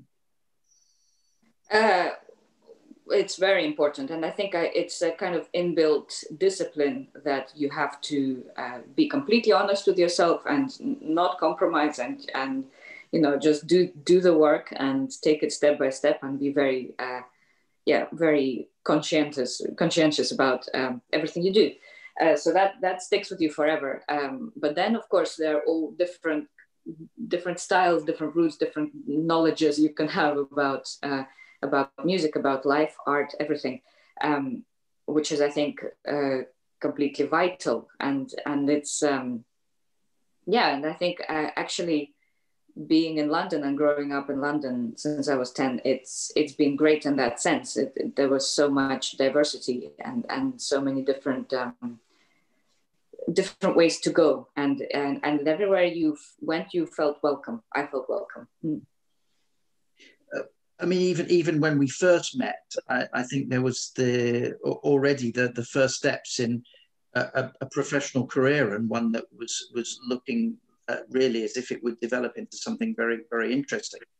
Uh, and and yet you chose to go to conservatoire. I guess that you know you didn't have to at that stage.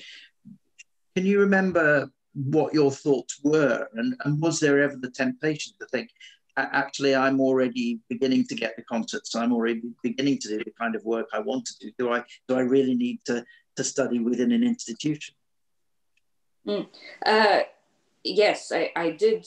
Uh, I did have some work. I had an agent since I was 16, uh, and there were things happening already. But somehow that that was never that was always separate getting better at something and finding out you know finding out what there is and learning uh, uh, from incredible musicians was uh, definitely had to happen.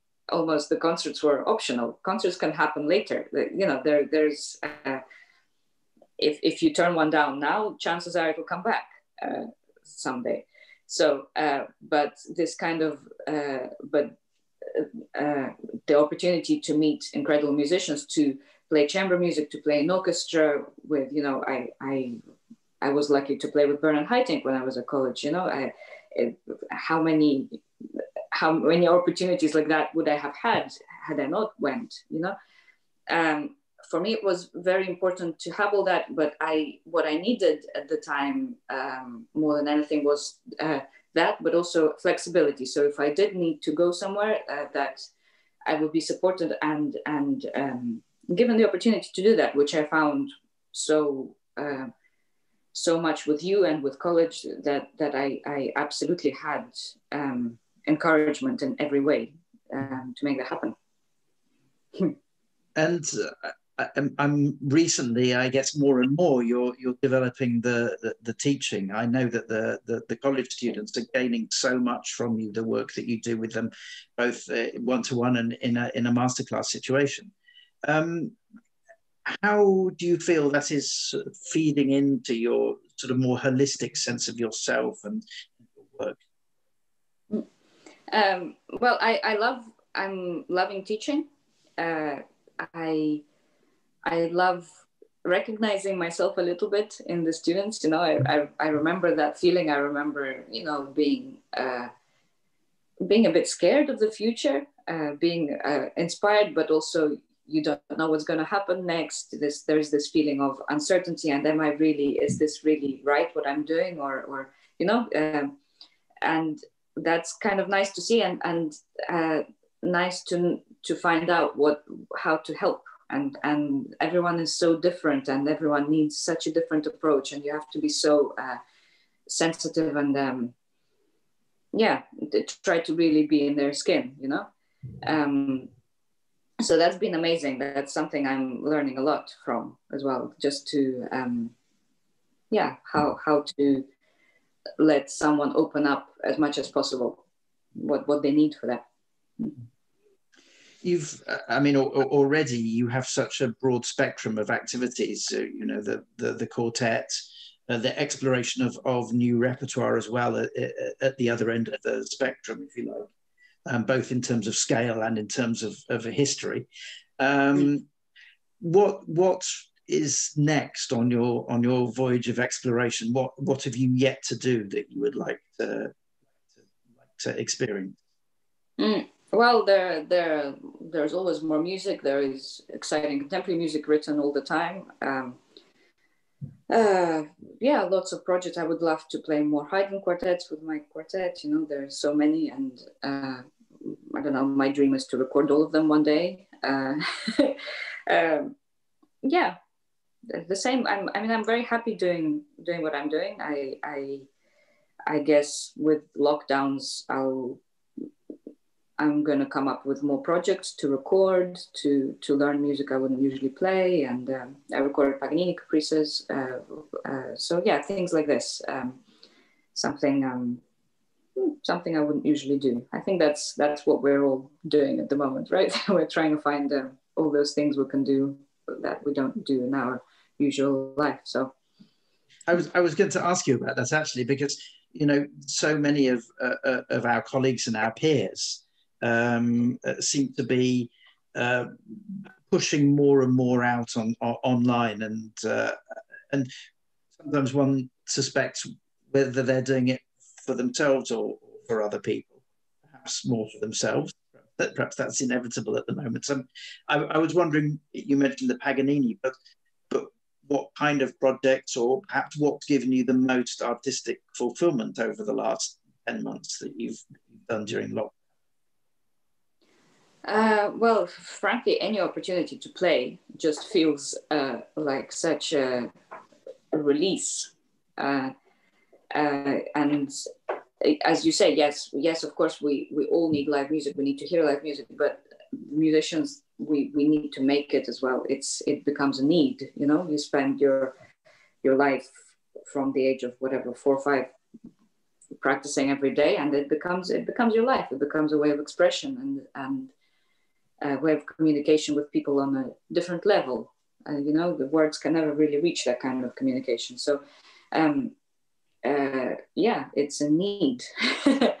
so I suppose, uh, yes, I, am finding I'm finding different kinds of music because I have the time. You know, usually in my schedule I don't have time to practice Paganini caprices for however long it takes, ten hours a day. You know, uh, so uh, so it's been nice to be able to do that. Um, uh, but yeah, I, I don't know yet what I'm going to do next. I'm thinking maybe some Baroque music or don't know. Hmm. Um, one last question, I guess, uh, which is that if you if you turn the clock back and think of yourself as a as a young undergraduate at, at the RCM, um, is there something that you know now that you wish you'd known then? Um, I, I think I would tell myself that uh, that everything is fine and, and it'll it'll work out. You know, I, I would try and try and release some of that kind of anxiety and fear. You know, um, I don't know if that's possible even because uh, yeah, because it's a scary time. Um, but but generally, I I I was very happy. I think I, I made the most of my time mm-hmm. at college. I, I really, um, I, I felt I gained a lot. Hmm. No, I would agree. You made the most of your time. they, they always say that if you want something done, then you give it to a busy person to do, and, and that was certainly certainly the case with you. It was a, uh, it was a pleasure having you there as a student, and it's a pleasure having you as a as a colleague now at, at, at Thank you. Alina, thank you so much for taking the time today to, to talk to me. Uh, it's wonderful to catch up, and I hope that we will have the chance to meet in person very soon. Me too. Thanks, Mark. Thanks. Bye bye.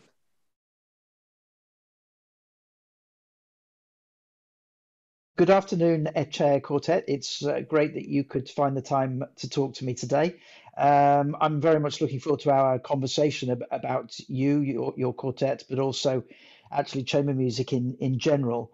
Um, it's a, of course, a key part of of, of uh, our activities in the string faculty.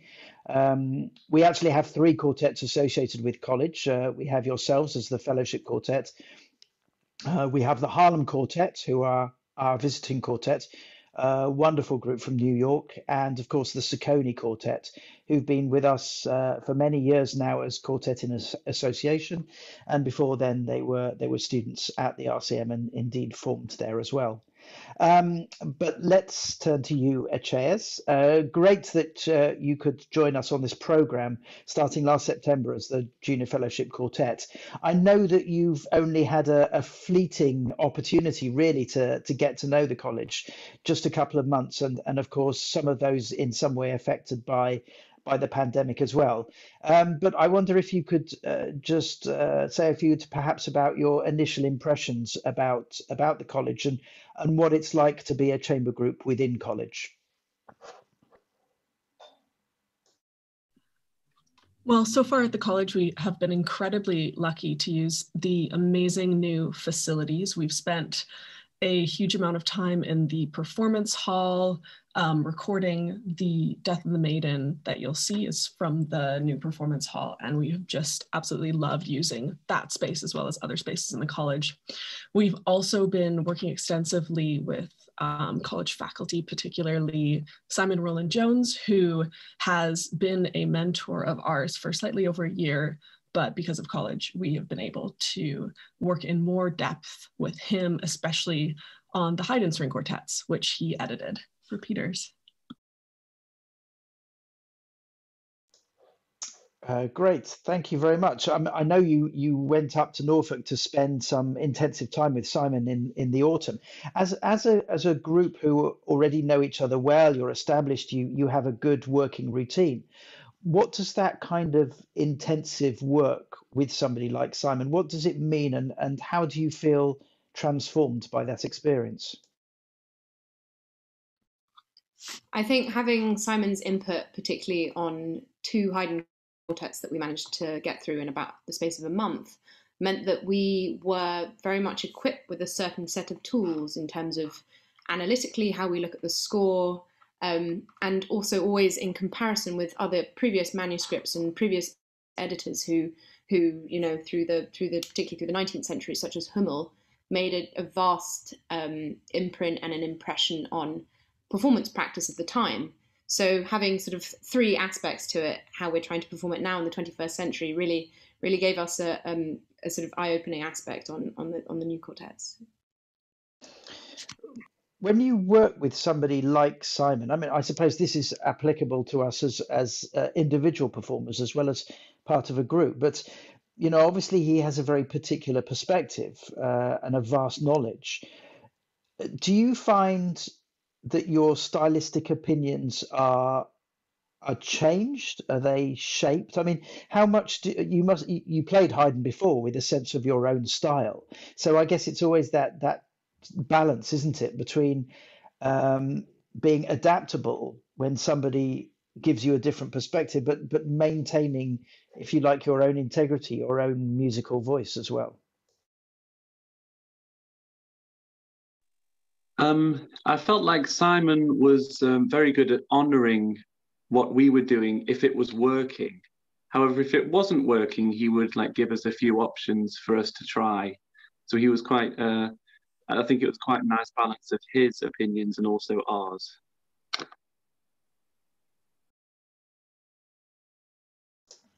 I mean, this is a, I guess this is a personal question a little bit about how you guys work together. But, you know, I, I see quartets who are, who are hungry for every coaching opportunity they, they can have.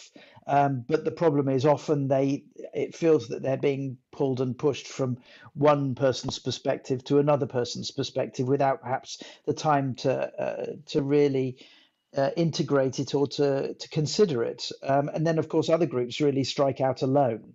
Um, but then, of course, they don't have the benefit of somebody else's knowledge and perspective.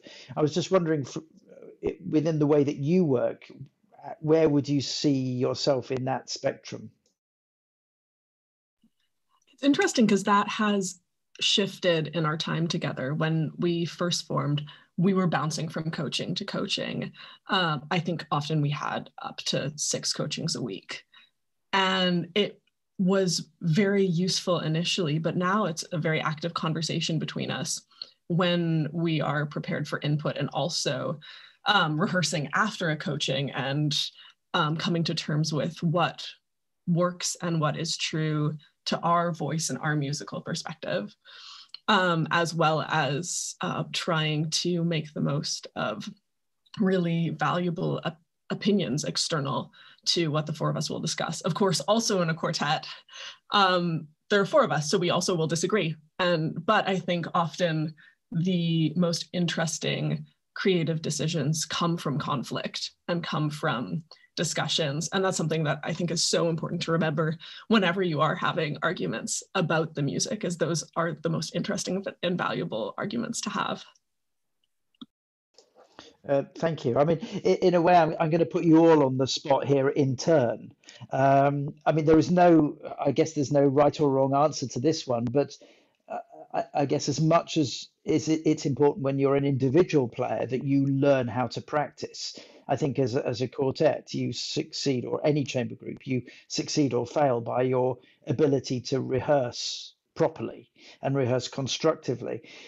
I mean, if you were to put into one or two sentences a, a sort of golden rule about rehearsing in in a chamber group, uh, what would each of you say that was?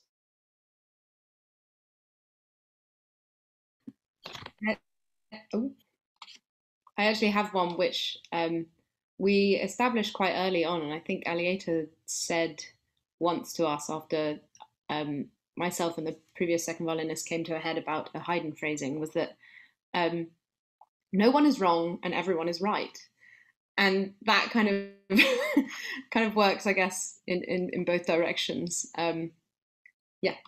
So essentially, I guess there are, there are no invalid ways of viewing how a phrase or, or a piece of music may or may not go. I, I would say. Sorry. Oh no, sorry. I would say don't strangle it, let it breathe. If that makes sense.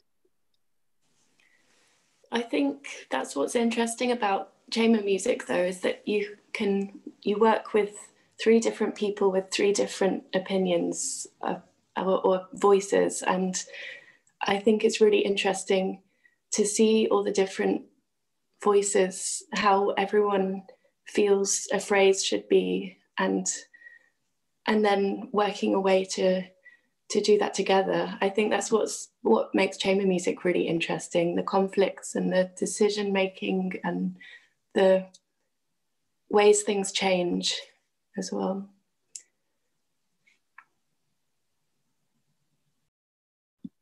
I feel like in a way we're all kind of saying we're we're saying things along the same lines, other than Dave's point, which is really really valuable and very a very important thing for us to remember because we can really get bogged down.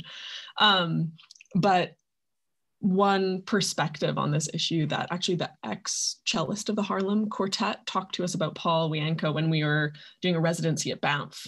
He said that the only quartet he knows that um, uh, that get along perfectly well are the Jack Quartet because whenever they have a, a creative conflict, they can just ask the composer. There's always someone external with an answer. Um, and that's very unique for a quartet. There are very few quartets that always have a ready solution to any conflict that comes up. And that there's so many quartets who will take different planes. You hear all of these stories about like such dramatic relationships between members. Um, but he said that the thing to always remember is that comes from a love and a passion for music. And so I think for me, one of the most important things to remember in chamber music is that um, if we are having those those conflicts, that those creative conflicts come from love and from passion, and that's what makes them so important and so interesting. Great, thank you very much. Um, I, I, would add something in there as well, which is a, it's a very pragmatic and a practical thing, but it's very hard for all of us to do, which is don't talk, just play. Uh, I've yet met, yet to meet a group who have that balance right, and that probably included the two professional quartets that I played with the whole of my life. Uh, we were getting there with the second group, where we would just play through a movement and then without talking, we would play through the movement again. Because actually, that way you sort out 90% of the things that you would have spent hours talking about anyway. Um, and that, you know, uh, music is is more eloquent than words. So if you use your ears and you play, then you're going to resolve most of your issues anyway. I think. Um, great. Okay, so uh, obviously we we didn't manage to fulfill all of all of your plans uh, for the beginning of your fellowship at college because of the of the pandemic. Um, I'm delighted that we're going to be offering you a second year so that we can actually you can have a little bit more time in the building and we can really see through uh, to fruition uh, some of your artistic ideas. Um, all things being equal, uh, what do you have in the pipeline? What would you what would you like to develop in the college in the coming months? Um, I suppose one of the the hardest things about getting into chamber music is just the contact and being kind of paired together with people and finding people that suit you and your your musical needs. So one thing that we've discussed is running a kind of chamber music evening soiree where gives the opportunity for people to meet their cohort, but also to play with us, um, and to ultimately find people that they can start something from the ground up. Um, yeah, and other things too. Great, thank you very much. Um, so we've been in strange times for the last uh, for the last ten months. I guess in some ways, uh, chamber groups are in a way a, a, very interesting aspect of what one might do within a within a, a, a, pandemic situation where one can't travel so much where where there's social distancing.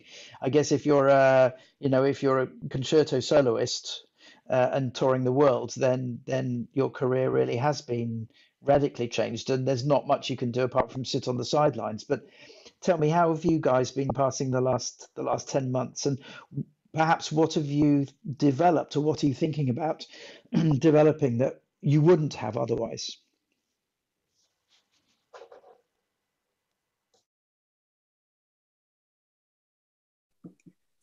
Uh, oh. After you, Alieta. Oh, um, we've been well. We've been together. Um, I think since June. We've been rehearsing um, since we were able to to meet. So um, we were able to we were able to meet and organize our own concerts within the smaller um, outside concerts and um, around London. Um, sorry, can you repeat the question again? I completely. Sure, I was I was just asking that you know because obviously a lot of our, the way that we perform has has had to mm. change necessarily, and yeah. I was wondering first of all how you you spent the time, but also uh, in a way what you might have thought about developing because of the current situation that perhaps you wouldn't have done if we if life had just carried on as it was before. Oh, well, we've had so much, so much more time to to think about the music and to study the music in so much more depth than usual than usual when we when like a normal um, schedule gets fills up so quickly with traveling and concerts and and things in day to day life. But having the time has actually been a blessing because we've been able to really focus in and and really go into that depth that we wouldn't have been able to otherwise. And that's just been amazing for us at this stage.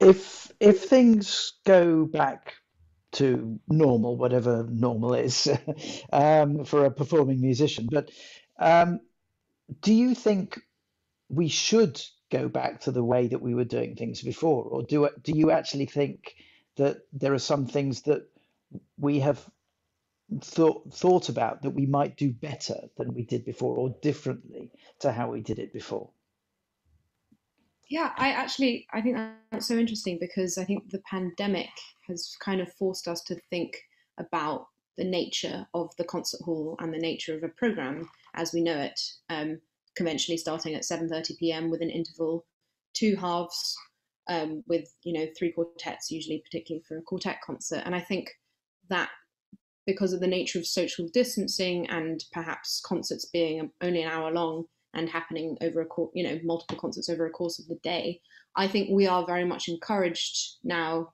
to be more adventurous with how we program and maybe perhaps you know starting a concert with a Haydn quartet isn't where isn't the direction we're headed with and we can seek the value of it as you know light relief at the end or yeah and just be get clever with how we program i think is valuable.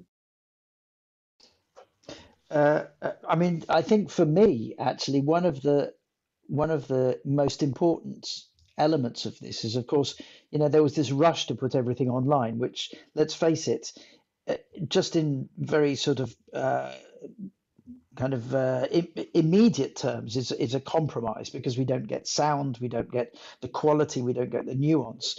Um, but actually, of course, it it also uh, doesn't really get to the heart of what experiencing live music is, which is this very uh, immediate uh, and sensory reaction to being in a place where something is happening uh, at that moment in time. So, I mean, I think in a way, what the absence of the possibility of live music uh, perhaps made us realize is when we could go back in the autumn to listening music really being played for us in that space is that it's such a personal medium um, eh, you know and it's one that if we could find a distillation of that way that we can reach an audience directly then you know th- then I think we're we're really onto something. And and as you mentioned uh, before we started this chat, you know this uh, actually chamber music is perhaps one of the best uh, of all of the of the, of the the possibilities where we can both do small scale concerts we can repeat concerts we can be flexible with programming but we can actually be more direct with our audience as well in the way that we present present concerts and uh, and contextualize concerts as well. Um, so yeah i mean I, in a way i think chamber musicians and particularly chamber musicians of your generation and students who are who are going through now they have so many possibilities uh, uh, uh, available um, to, to really find a, a new way of doing things. Because, you know, I mean, the audiences are still there craving for, for, for to listen to music, and the artists are still there craving to perform it. So even if the conventional ways of joining A to B are no longer so practical, you know, we just need to find different ways to do it. And and perhaps it was high time that that, that kind of happened anyway. Um, certainly in the area of of chamber music, I think it was often seen as a as a sort of niche area, even within classical music, which is seen as a, a, a sort of niche area in itself when you step outside of the of the sort of the ivory tower of, of those of us practitioners who are doing it. Um, I don't know if you. Uh, I'm going to put you again on the spot here, I suppose if you somebody said to you, okay, you have 60 minute recital, um, and you're going to be doing it in a in a place in a space that is not a conventional performance space, kind of what what immediately springs to mind? Forest with microphones and speakers. That was what immediately springs to my mind. Okay, and and sort of repertoire and and how would you present it?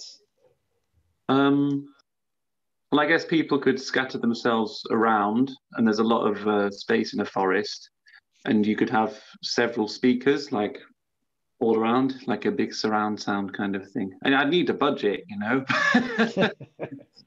and repertoire mm, for forest. Don't have to think. Maybe like Szymanowski, stuff which is you know quite mystical and with nature. I don't know. I think most. I think chamber music is a lot of it is with nature anyway. I guess anything could work. uh, obviously, not um, a winter concert. This one. Uh, Maybe spring or summer. Yeah.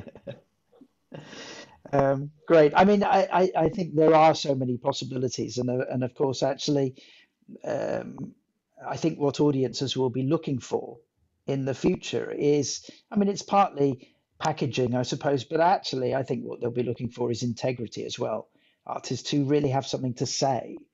So, um, how, in a way, the the way that we present is needs to be fundamentally connected with what we have to say and and what you know in, in, going even further i guess perhaps what our social responsibilities are as artists perhaps that's a, a kind of quite a, a, it's a concept that's perhaps hard to get hold of but perhaps one of the things that we've learned in pandemic is that the arts have a, a real social function and artists have a real social responsibility um, rather than it just being there purely for, for entertainment.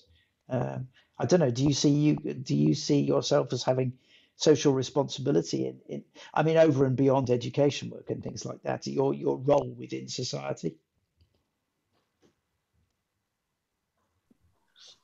Absolutely i think as as artists we absolutely have a social responsibility. And in terms of the artistic integrity that you mentioned mark i'm thinking back to your previous question as well about what we learned in our time not being able to perform um, and having our roles as artists shifted and our creative outlets shifted.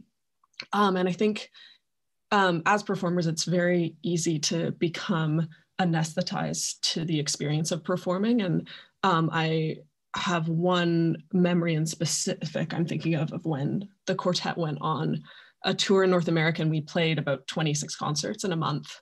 And we got back and we performed um, the same program that we had been performing on that tour. And one of our main mentors, John Myerscough, said to us like you're absolutely saying nothing. Like the music you're not the, the harmonies mean nothing to you. You've completely lost track of your cre- your creative voice and your integrity as a group. Um, and so i think that in in terms of what we've learned in the pandemic and relate like relating to that um, the voice of us as artists i think it's it's been a time to really focus on that because we're not we're not getting on stage. And when we do get on stage one the only time the very few times that we've got gotten gone on stage in the past year it's been terrifying. And it's meant something very very different than what it used to mean when you just um, we actually have a, there's a joke eliza always um, used to tell about us um, performing where she'd say oh you know we wheel it out and then we wheel it back in. You know and it, it does start to feel like that when you're performing you know constantly. Um, so I hope that moving forward will be thinking about that integrity, both artistically, but also in our programming. That's something that is very, very, very important to us and something that we are trying to think about increasingly because it's not good enough anymore to only program white men. It's not, it's not good enough. And um, in the summer, we started to think more about um, what the balance of our programming looks like and it's very difficult when you're going for competitions and all of the repertoire that is on those lists is Brahms and Beethoven. And of course it is, and that's fantastic music that we absolutely love to play. Um, but that's I, something that I think I would love to see competitions change as well. And that needs to kind of change on, on a lot of, for a lot of people and with a lot of organizations if there's going to be a shift.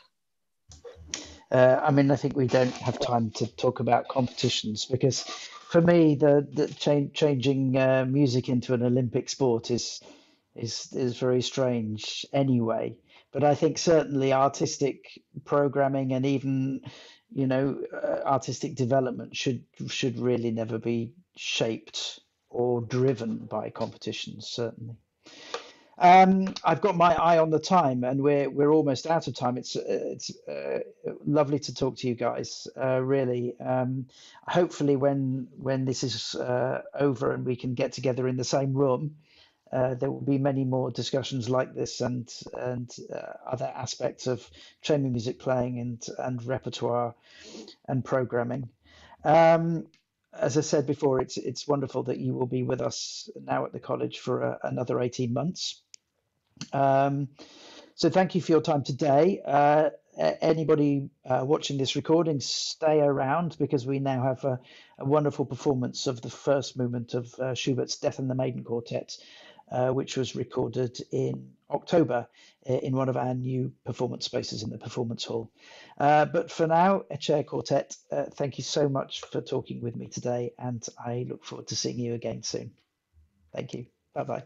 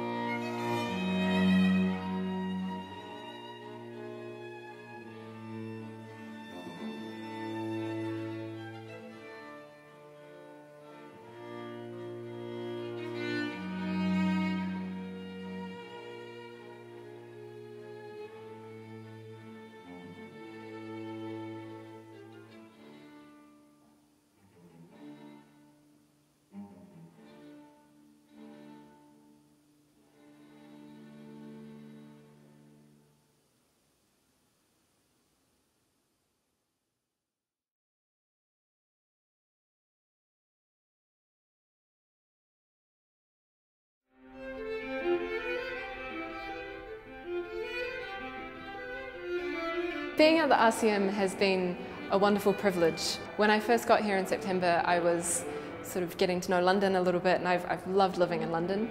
And I think the most significant thing is to have the opportunity to play for so many amazing musicians. I came to the Royal College of Music because I studied with my teacher Thomas Carroll at the Yehudi Menuhin School and I thought it would be the best for me to continue my studies with him at the Royal College of Music. I had amazing opportunities to play with the RCM Classical, the Philharmonic and the symphony orchestras and also I had the wonderful experience to play with uh, the great Nicola Benedetti in a quartet. We had a workshop and it was a fantastic experience. What makes the string faculty one of the best places to study for a string student is the fact partly that we have wonderful professors here, some of the best in the world. But of course, the experience of the one-to-one -one lesson has to be supported by a whole range of activities and those other activities we're well known for, for what we do and the success of what we do. There are many different opportunities that you can take part in. There are lots of orchestra projects and chamber music, so it's, it's really exciting. I think one thing that we have done very well at the Royal College of Music is create musicians who are the innovators for the future. So we're not just reacting to a workplace that is already there, but we're creating artists and musicians who will shape the nature of, of music and, and how that will interact with society in the future.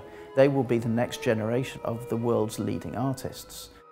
It's the perfect place for any musician to be able to develop and become the best musician they want to be in the future and they listen to us, then they help us with everything that we want to do. So I, I couldn't have imagined a better place to study.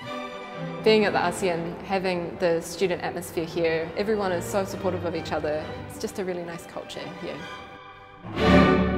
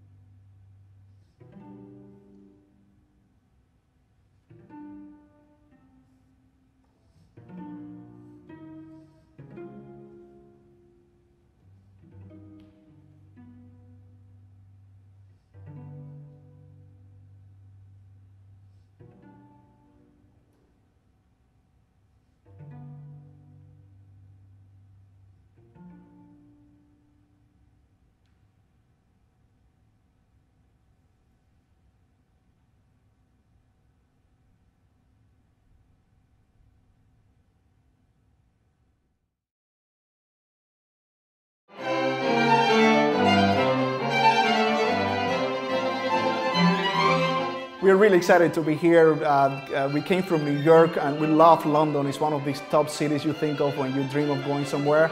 But even more so because we will be working with uh, wonderful students and prestigious uh, organizations such as the Royal College of Music. Uh, we're thrilled. Couldn't be more excited. We're excited to be here for a week working at the Royal College and getting to hear the wonderful, talented students that are here and work with the faculty and also get to perform concerts. Well, as a violist, this is my first time here in the Royal College and I think this is a two-way road of uh, learning from uh, myself to the student and from the students to me too. So I'm actually looking forward to share all this experience. Working together with the students works two ways for us and it's actually amazing because we learn as much from them as hopefully they learn from us. But the takeaway is always fun because we get to think about describing things that we work on daily in different ways and we also get feedback from them so we have a lot of creative ideas that we can then incorporate into our music making and rehearsals and concerts. I can breathe art in this building, you know. You look outside and there's an amazing hall there and something around that you, you can feel that you can breathe music. Hopefully the students will be able to take home with them uh, the various things that we talk with them about over the course of this week and in future visits, uh, both technically speaking as well as musically. And most of all, just we really want to pass on the joy of music making to them.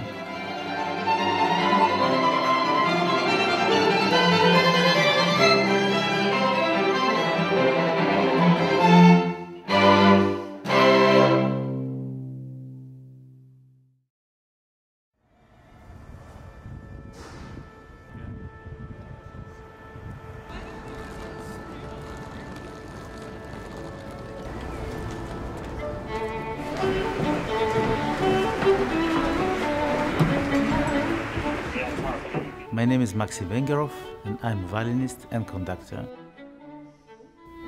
Today we have uh, three students playing violin concerto of Beethoven. Three movements, three students. So everything is uh, First of all, free? we are meeting in the room uh, one on one together with the pianist, imagining there is an orchestra behind. So I'm preparing them for the next step, which is an orchestral rehearsal.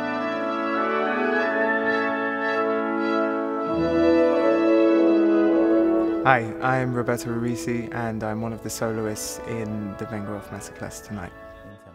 Roberto is a wonderful violinist who has uh, close to perfect intonation, uh, very good musical ideas, and he's very experienced as a player.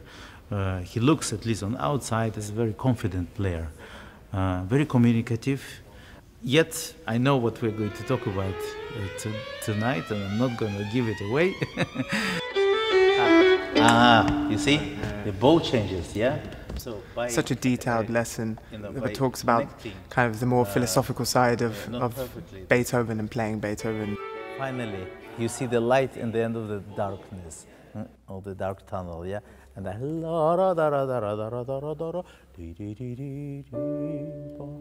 It's like the stairs to heaven.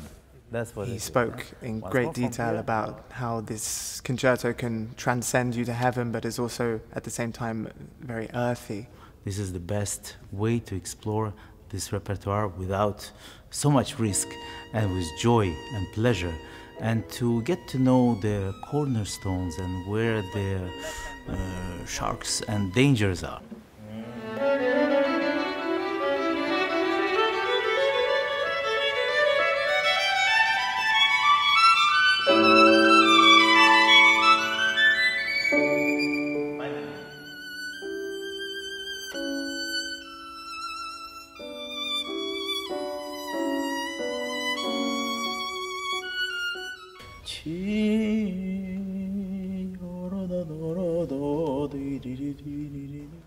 After you've learned all the challenges and solutions in the with the orchestra, you know it all, then you should let go. Yeah, so and that we'll explore, of course, tomorrow.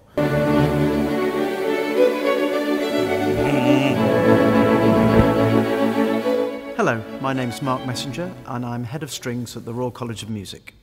every student has different needs and they respond differently and in different ways. And I suppose one of the, uh, the magic tricks of a great teacher is that they understand that very quickly. They understand the psychology of the student, they, un they understand what they need. I think he finds what is strong in you as a violinist and then exaggerates that um, and brings it out in its best way. I think he knows with a player straight away whether they have some fire in them, whether they have, when they really want to make music. And I think that one of the best things is that every single inch of his, his body and his body language is focused around inspiring you to do as much as you can.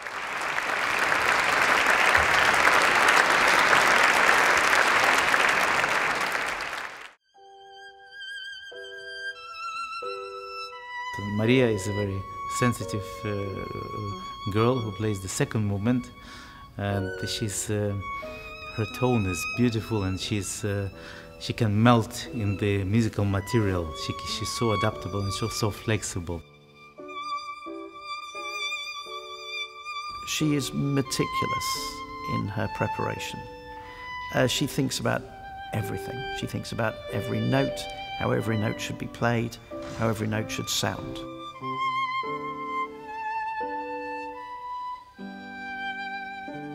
It was amazing to work with, with Maxim Vengerov, and he's one of the big legends of the violin and the music as well. It's like the magnet. Exactly. What's wonderful with Maxim is that he's not at all dogmatic in his musical views, but he has such a wealth of wisdom and knowledge and experience that, of course, everything he says is valuable and everything he says is pertinent. Um, but I think actually great artists are, in their souls, they are humble people who understand that, that every point of view can be the correct one and and we can learn from everybody. Main feeling i got from him is uh, human feeling. We we look up to these uh, musicians these artists and we feel like they're up there and and it's something we really want to achieve not to be able to speak our in our own words uh, this music. And he was he was just a human being who was telling his story. And of course there is so much to learn from him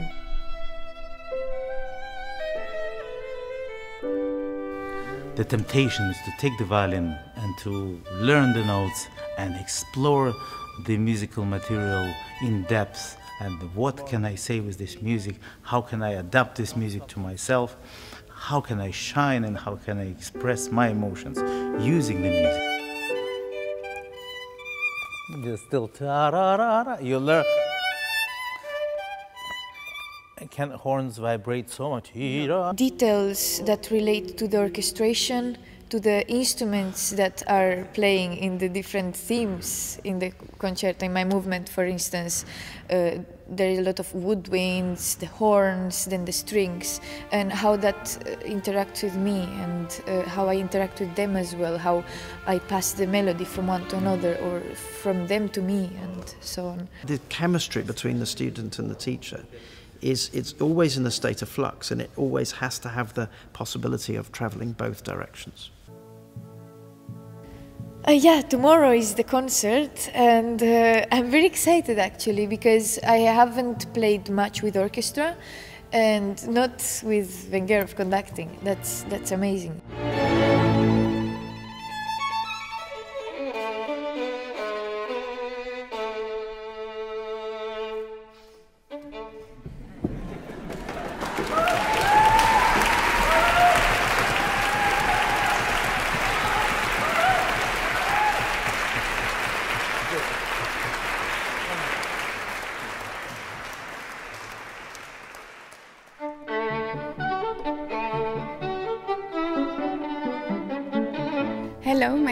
My name is Faber and I'm from Luxembourg.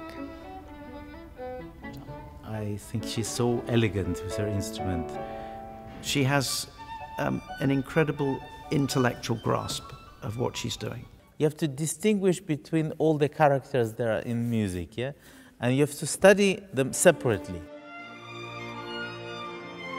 He has a very deep knowledge of this music and he really transmits that and he shows us how important it is to um, know all the different elements in this music and to characterize it well and to really communicate later on with the orchestra. Yeah, yeah, yeah. You don't need to slow down. Yeah, la, la, lam, pam, la, la. I think this preparation and the journey that we're going through uh, is also a great discovery to me. I played the Beethoven Violin Concerto definitely more than 300 or 400 times in my life. But uh, each time I'm coming back to this uh, piece, uh, it's as if this is world premiere.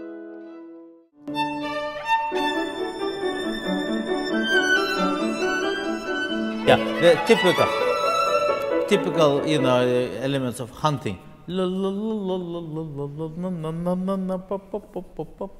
Yeah, has this element. It can be scary um, because, yeah, it's a person that has so much charisma and such a big career, and we all admire him for that. So, in that sense, it can be scary, but also inspirational because of the, the same reasons.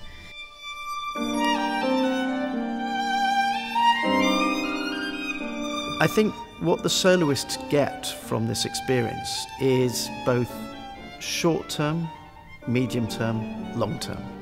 In the short term, they get something very immediate which helps them play and helps them perceive and helps them feel this piece in a way that makes more sense, is more coherent, is more cohesive, is more secure, is more assured.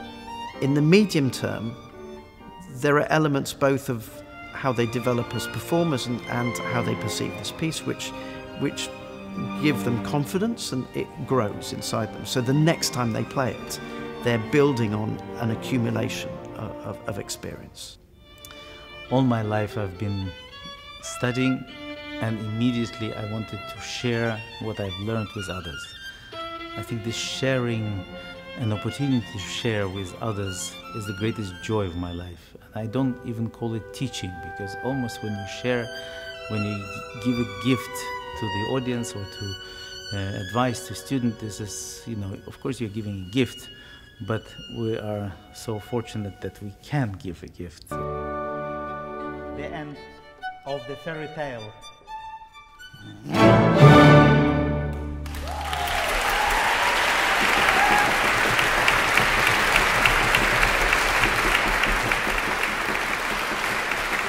I think tonight when they've finished and they've done their concerto and, and, the audience have applauded and we pack up and go, of course, what will remain with them in that one moment tonight will be excitement, will be satisfaction, will be a, almost a sense of kind of enlightenment and revelation. It's almost a rite of passage as well. Masterclasses, are they worth it? Of Definitely, course. definitely. Yeah, we learn so much from it. Yeah, yeah. And especially in these kind of settings because it's so unusual and it really opens our playing and yeah, we react to we react Yeah. quicker as well and yeah, it's more pressure but in a way it helps to Oh, definitely, definitely. Yeah. yeah. Brilliant. What now? A drink? Yeah.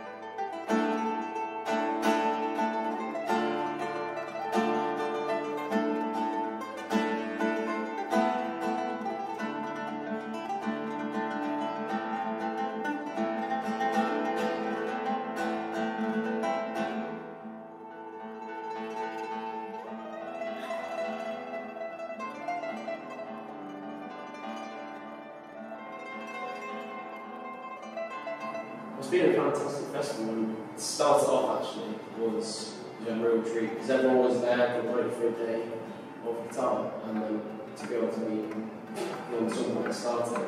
Yeah. It's really exciting.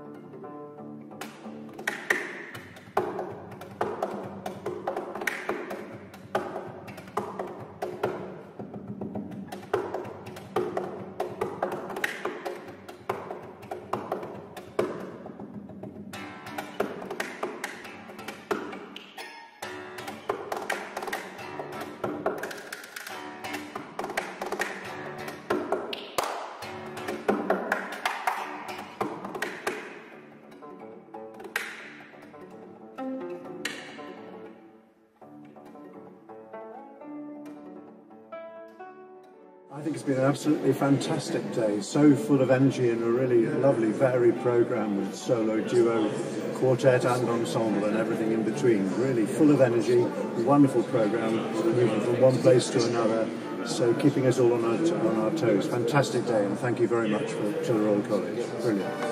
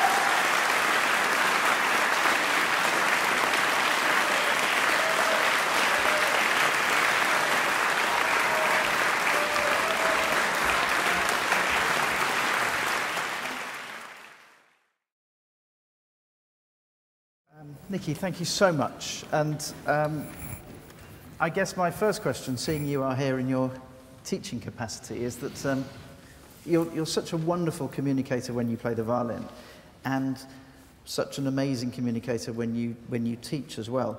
Um, I think it was Rubinstein who said that it's very rare that he meets a student who is so bad that he can't learn something from them. Right. What, um, what do you get from the teaching experience? Oh, no, absolutely. I was actually just thinking that. As I'm nodding as you're talking, I was just thinking how much I learned from listening to those three violinists. Um, everybody always has, well, we're, we're, all, it's just like you learn from people in everyday mm -hmm. life. Everyone's got something to offer, has something to say, something you can, you can take from and learn from. And um, I think people have very different ways of, of interpreting pieces of music. They have different ways of, of managing the, the roller coaster of playing the violin. And it's such a personal thing and um, such an individual thing that you can always learn from, from every, every player you come across. I definitely did today. Um, but I mean, other than that, I think you, I just feel a, a, necessity. If you've been granted and privileged enough to receive a lot of information in your life, which, which I have through all my violin teachers and all the musicians that I've come across and that I've had the pleasure of getting to know, um, I just I feel it's the, the, most natural thing in the world to try to, to pass that on as, as best you can. Try to, to share what, what you've been told.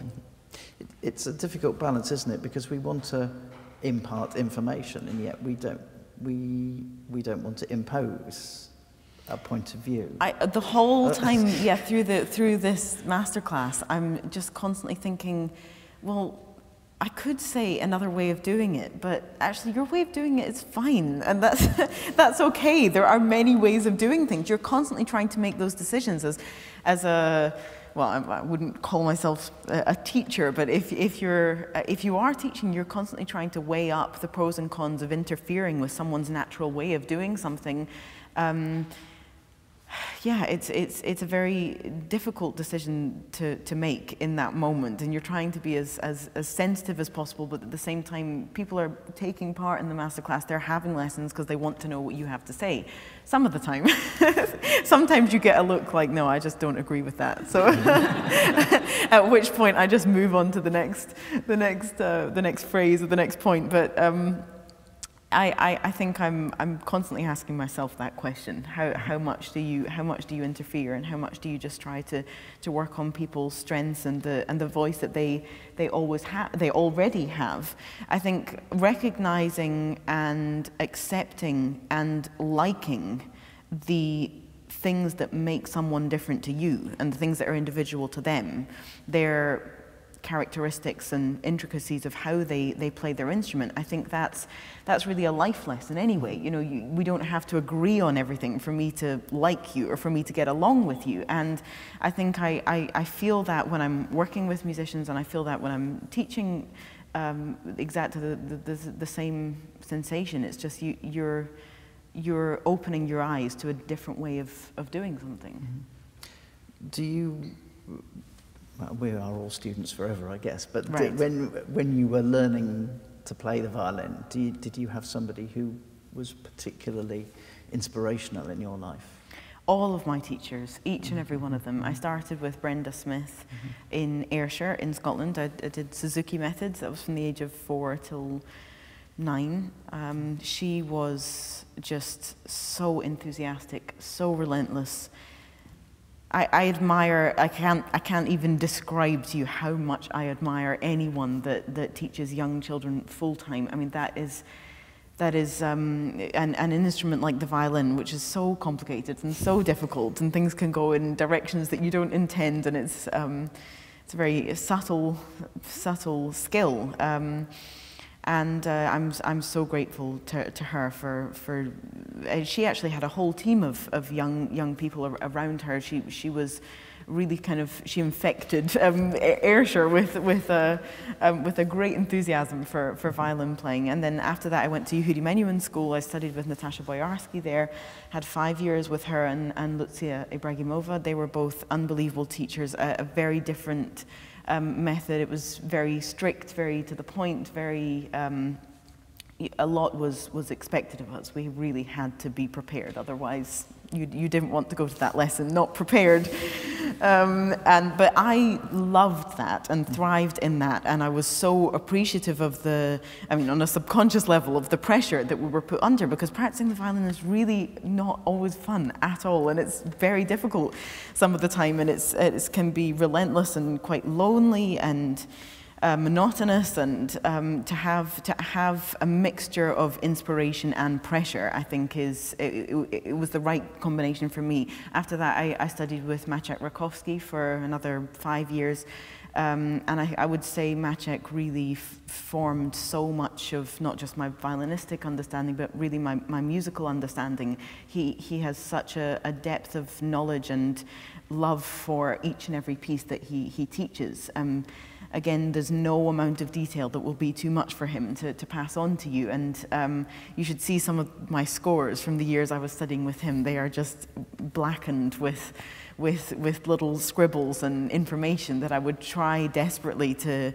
to take from him and to remember and to then work into the piece. And, um, and after that, I did study with, with a few other teachers, and, uh, but, but nothing as solid and as, mm -hmm. as kind of consistent as that. You, uh, you mentioned the, the scores when you were studying with Maciek. Uh, uh, how do we kind of cross that boundary then between the absolute detail mm. of learning and practice and the creative spontaneity of performance? Yeah, it's, it's very, very difficult. That's why I was so impressed with all three players today. They just seemed so free on, on stage and, and so able to, to, although they're in the middle of studying day in, day out. Um, so, so able to, to detach from that, really perform, really be free and give everything that they, they have.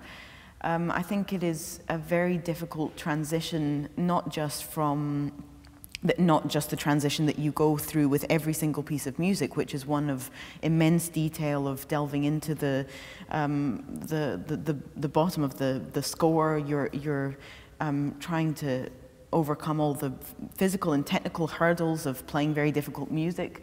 Uh, there is no question that layers and layers of that very analytical, very um, sort of ground, groundwork has to be done. And it has to be built on slowly. You have to be patient with it. It can't just all be, I'm just going to pour my heart out and be inspired and hope for the best. It just doesn't work that way. Um, and, uh, but, but yeah, at, at some point you, you have to live in your, in your intention. You have to live in your dream of what you would like this piece to sound like.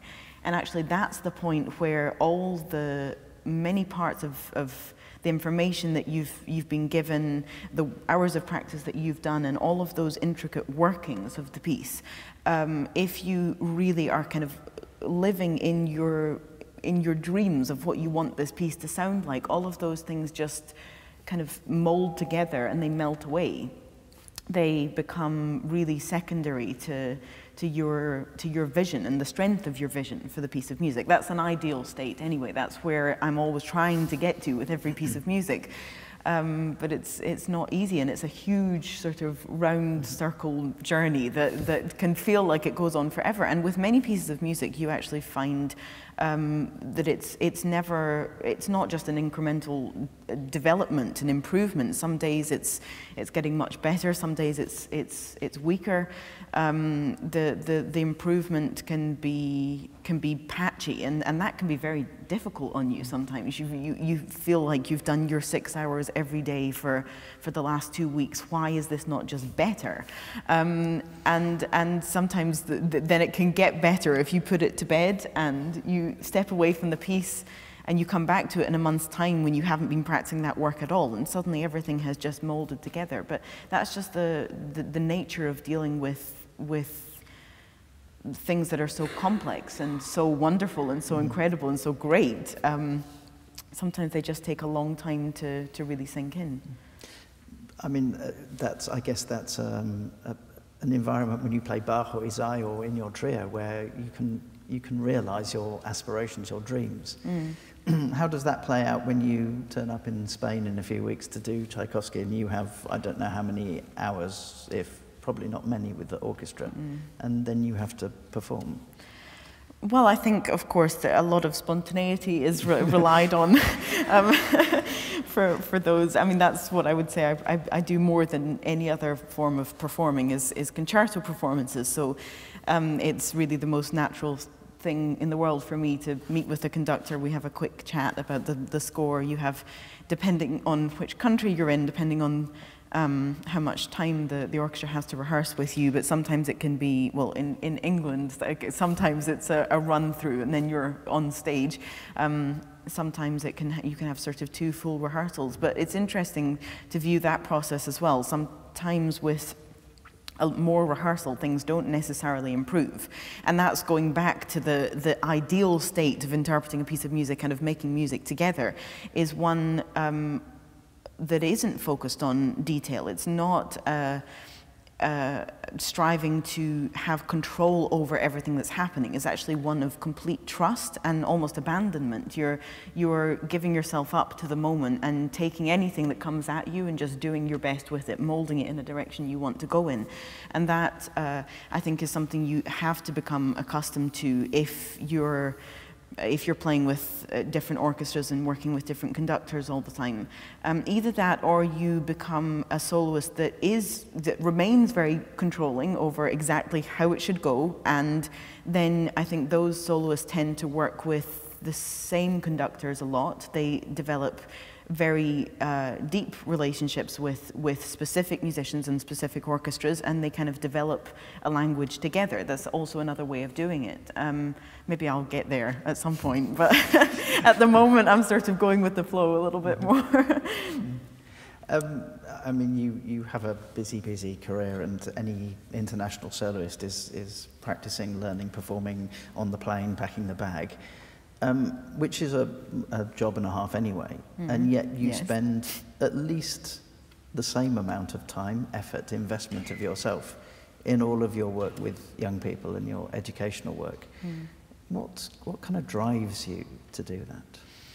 I think just going back to what I was I was saying at the beginning, I think it, it's just the most natural thing in the world. I don't really feel like it's an effort or even that it's a thought process I have to mull over. Usually the thought process I have to to work my way out of is is how not to overspend my time on on that because um, playing and playing well and dealing with the pressures of getting up in front of large crowds and um, just playing those difficult concertos in front of people, that, that does take a lot of focus and a lot of concentration. You do have to be protective over your time, otherwise you can get yourself into trouble. Um, but it, yeah, it's just really the most, the most natural thing for me. I, I think I've, I've had enormous privilege in my life to have um, found an instrument that I had an affinity with at a young age, to have had great parents, teachers, encouragement, an amazing um, kind of system around me in the various parts of my life that enabled me to, to, to improve and, and develop to develop. And then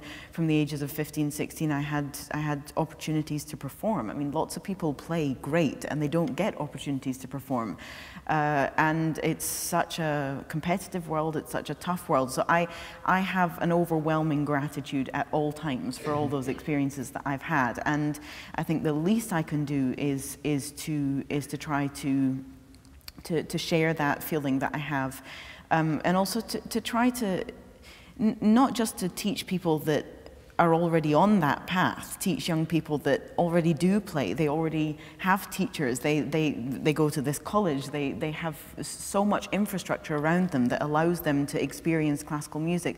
I also like to go to places where nobody's even heard a piece of classical music, not knowingly anyway, um, and, and just try to plant a seed of what it can feel like to get to know a Beethoven symphony or to get to know a Tchaikovsky symphony. And, and when, you, when you've listened to it enough times that you're waiting for certain moments to come and you, you get a feeling of that overarching shape and, and just how amazing that feels um, if you're so aware of the greatness of that feeling and you're so appreciative of it you do just naturally want other people to, to share in that with you and to experience that with you. I think it's quite, I think that's quite natural. But, but I mean, I guess the investment and time and effort comes, of, of course, you get the, you know, you get the, the benefit, you get the feel-good factor when you, when you introduce people to music like in that way. Mm. But the investment of time and effort Mm. comes with the obstacles that we face in, in getting that to happen. Um, I mean, uh, from what you've said and from what you've written, sometimes one feels that actually there's a struggle, that there's a fight that's going on to actually enable these things to happen. Right. Um, it's it's yeah. That's a, it's a difficult. It's a difficult subject altogether. On the one hand, um, I mean, it's actually a, once you open that door and you, you start to have a, a, a better and deeper understanding of what level of music and creative and artistic education is going on around the country. Um, it's it's like floodgates open. Suddenly, you just you don't feel like you're ever doing enough. Um, I feel that all the time. I'm sometimes feel guilty for going and playing concerts. I feel like I should just be dedicating time to to, to trying to to improve that. I think I get an enormous amount of um, en- encouragement through the people that I meet. The amount of people. I I mean, speaking about the UK in particular. Um, this could be said for any country, but focusing on the UK, the amount of people that will give up just about everything in order to give young people a chance with music and a chance with with a kind of creative expression during their their their young school years. Um, it, the sacrifices people make is is truly uh, absolutely astonishing and. Um, I think I, I, I sort of switch between feeling extremely positive because of all of those people that I encounter and all of those people that I meet and I come across. I switch from feeling very positive to, to very negative because if all of that is going on, and if there are countless papers and documents and statistics that say it is great for every young person to have an experience with the arts, an experience with music, an experience with, their, with an instrument, an experience singing. Why is it not available? To, it's just it, it- So I go from I go from one state to the other. Sometimes I feel very positive about it. Sometimes I just feel um, that it's it's it's a tragedy I don't understand. I don't understand why something can be so obvious but so ignored, and and so so hugely misunderstood. Um, but I mean, all, I can do is what I can do. I, I speak to as many people as I can. I teach as many people as I can. I try to be. Um, I try to talk about this as much as possible. I think it's, it's so often you come across people that just don't know. They don't know that it would be great to have music in their school. Uh, some people are just not aware of it, and um, talking about it, yeah, that, that can help. We, we had quite uh, active Twitter following this morning, so um, we have a, a few questions. Uh-oh. Um, don't worry, they're, they're mostly innocuous.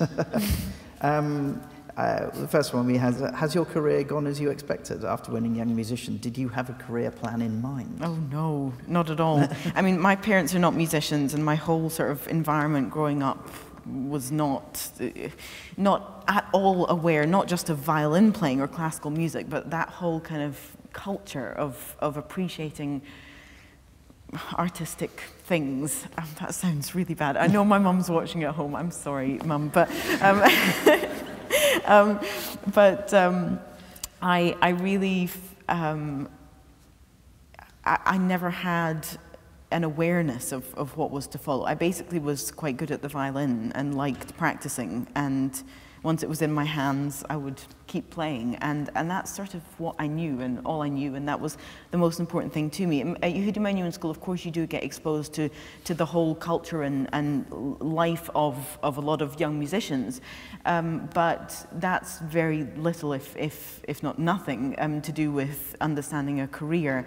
Um, I think so many things have, have surpassed my, my expectations um, in terms of the opportunities that I've been given. But actually, the only driving force of, of every um, improvement and development in my life and, and therefore in my career um, is, is my, my focus is, is on my playing all the time. And um, I, like I said before, the fortune that I've had um, in terms of opportunities to play and to keep playing. I mean, I'm fortunate to play the violin, first of all, because that's a very in demand instrument. There are lots of orchestras and recital presenters that want someone to come and play the violin.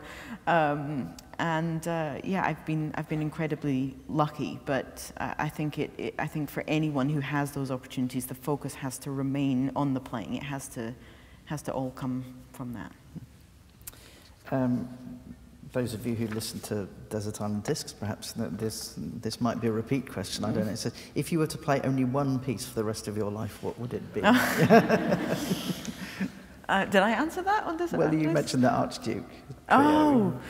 Oh, um, that could be one of them, but I don't have that much to play in Archduke.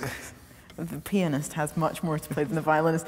Um, uh, oh God, I don't know. Probably a piece of Beethoven. I think he's he's if if there is such a thing, he's probably my, my favorite composer. So mm -hmm. although that that Brahms G major sonata that would be mm -hmm. close second. I think that's that has to be uh, definitely up there.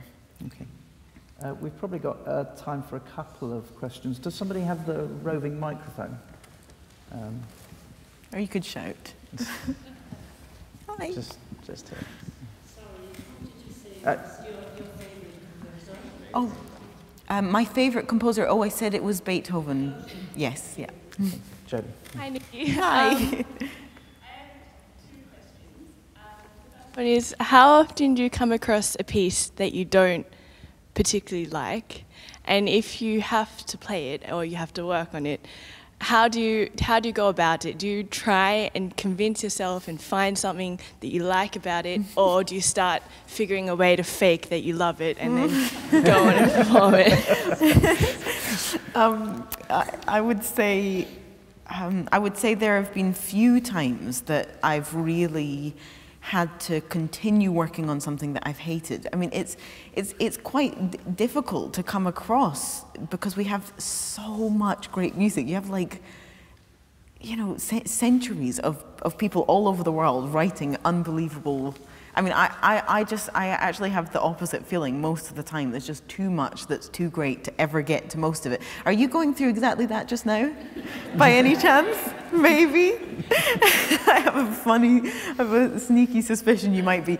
Um, I, I think um, I think that you can have a natural inclination towards different um, different cultures of, of sounds and and certain styles of music, but I would say that there's, there are a few things that we would be playing that you can't find the greatness in somewhere. And so I would definitely be in favor of looking for that. And also a really good and wonderful thing um, to do is to find someone else that loves it. Find someone that loves this piece that you are, I'm just assuming that you're not liking, um, and, and just be around them play it for them, be around them listening to it, try to get into their mindset because I'm, I'm sure there will be something about it that is astonishing and that is great and that's lovable. Um, and you, you might, you know, in, in five years suddenly go, I can't believe I did not love that piece of music. Um, that could happen. So just, yeah, really try to, to, to be open. Um, can we have the microphone over here in the middle?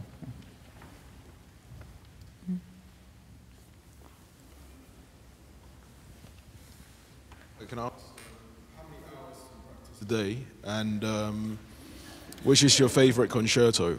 And what?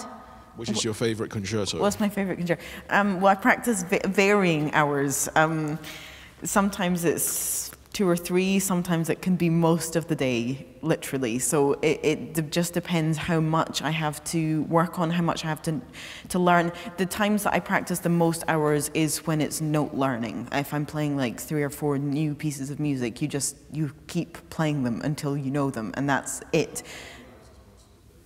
Oh, could be, I don't know, six, seven, eight, more six, seven or more.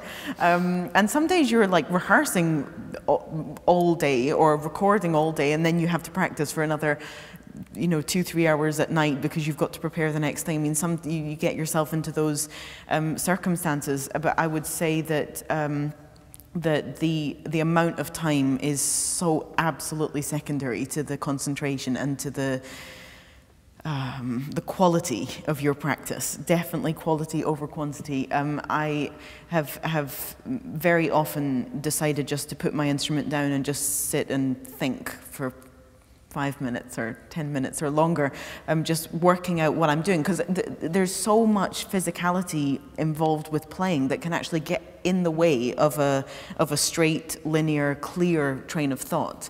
Um, so, so sometimes just battling away and counting the, the, the minutes is, is, it doesn't necessarily help. Um, it, you can, it, a lot of playing is problem solving. So really just apply your, your mind and focus as, as much as possible. Try to solve the, the problems. And, and your favorite concerto? Oh, sorry. Um, it's impossible. We have so many good ones. Violinists are really spoiled. I mean, um, Brahms, just because I'm doing it at the moment. We probably have time for one more at the front here, if we could. Slightly odd question. Do you, do you ever have a quiet or secret thought that you might go, as I think Joshua Bell did, with a cameraman and a recorder, to a tube station and be a busker? um, do I? Um, I'm not sure it would be a terribly secret thought, but um, I'm sure I have thought about that before. Um, I might. Well, I mean, I, I like to like if, if, if I'm in a, like a in, a, in some kind of a social circumstance uh, and people would like to hear me play and my violin's there, I'll almost always play. I don't really care where I am. Um, uh, yeah, that, that was an interesting, didn't everybody walk past him? I, I, think nobody really listened, which was very sad. So I might not follow in those footsteps. If I, if I was not going to be listened to, then I might end up not, not bothering to play, to play on the tube. Have you ever turned up at a dinner party and not wanted to be a violinist, wanted to be anonymous and something else? Um, as in like a dinner party I had to play at? No, no, no, no, no. just a social gathering. I never don't want to be a violinist, ever. I'm, I'm, I'm very happy being a violinist, definitely. Great. Um, Nikki, it's been such a privilege, such a pleasure. Oh, thank um, you As for always, we could spend longer listening to you teach, we could spend longer talking. Um, so the bad news is we have to stop. The good news is hopefully you will be back here I before so. very thank long. You. But for now, thank you so thank much. You. Thank you, and thanks all for coming. Thank you very much. Thank you.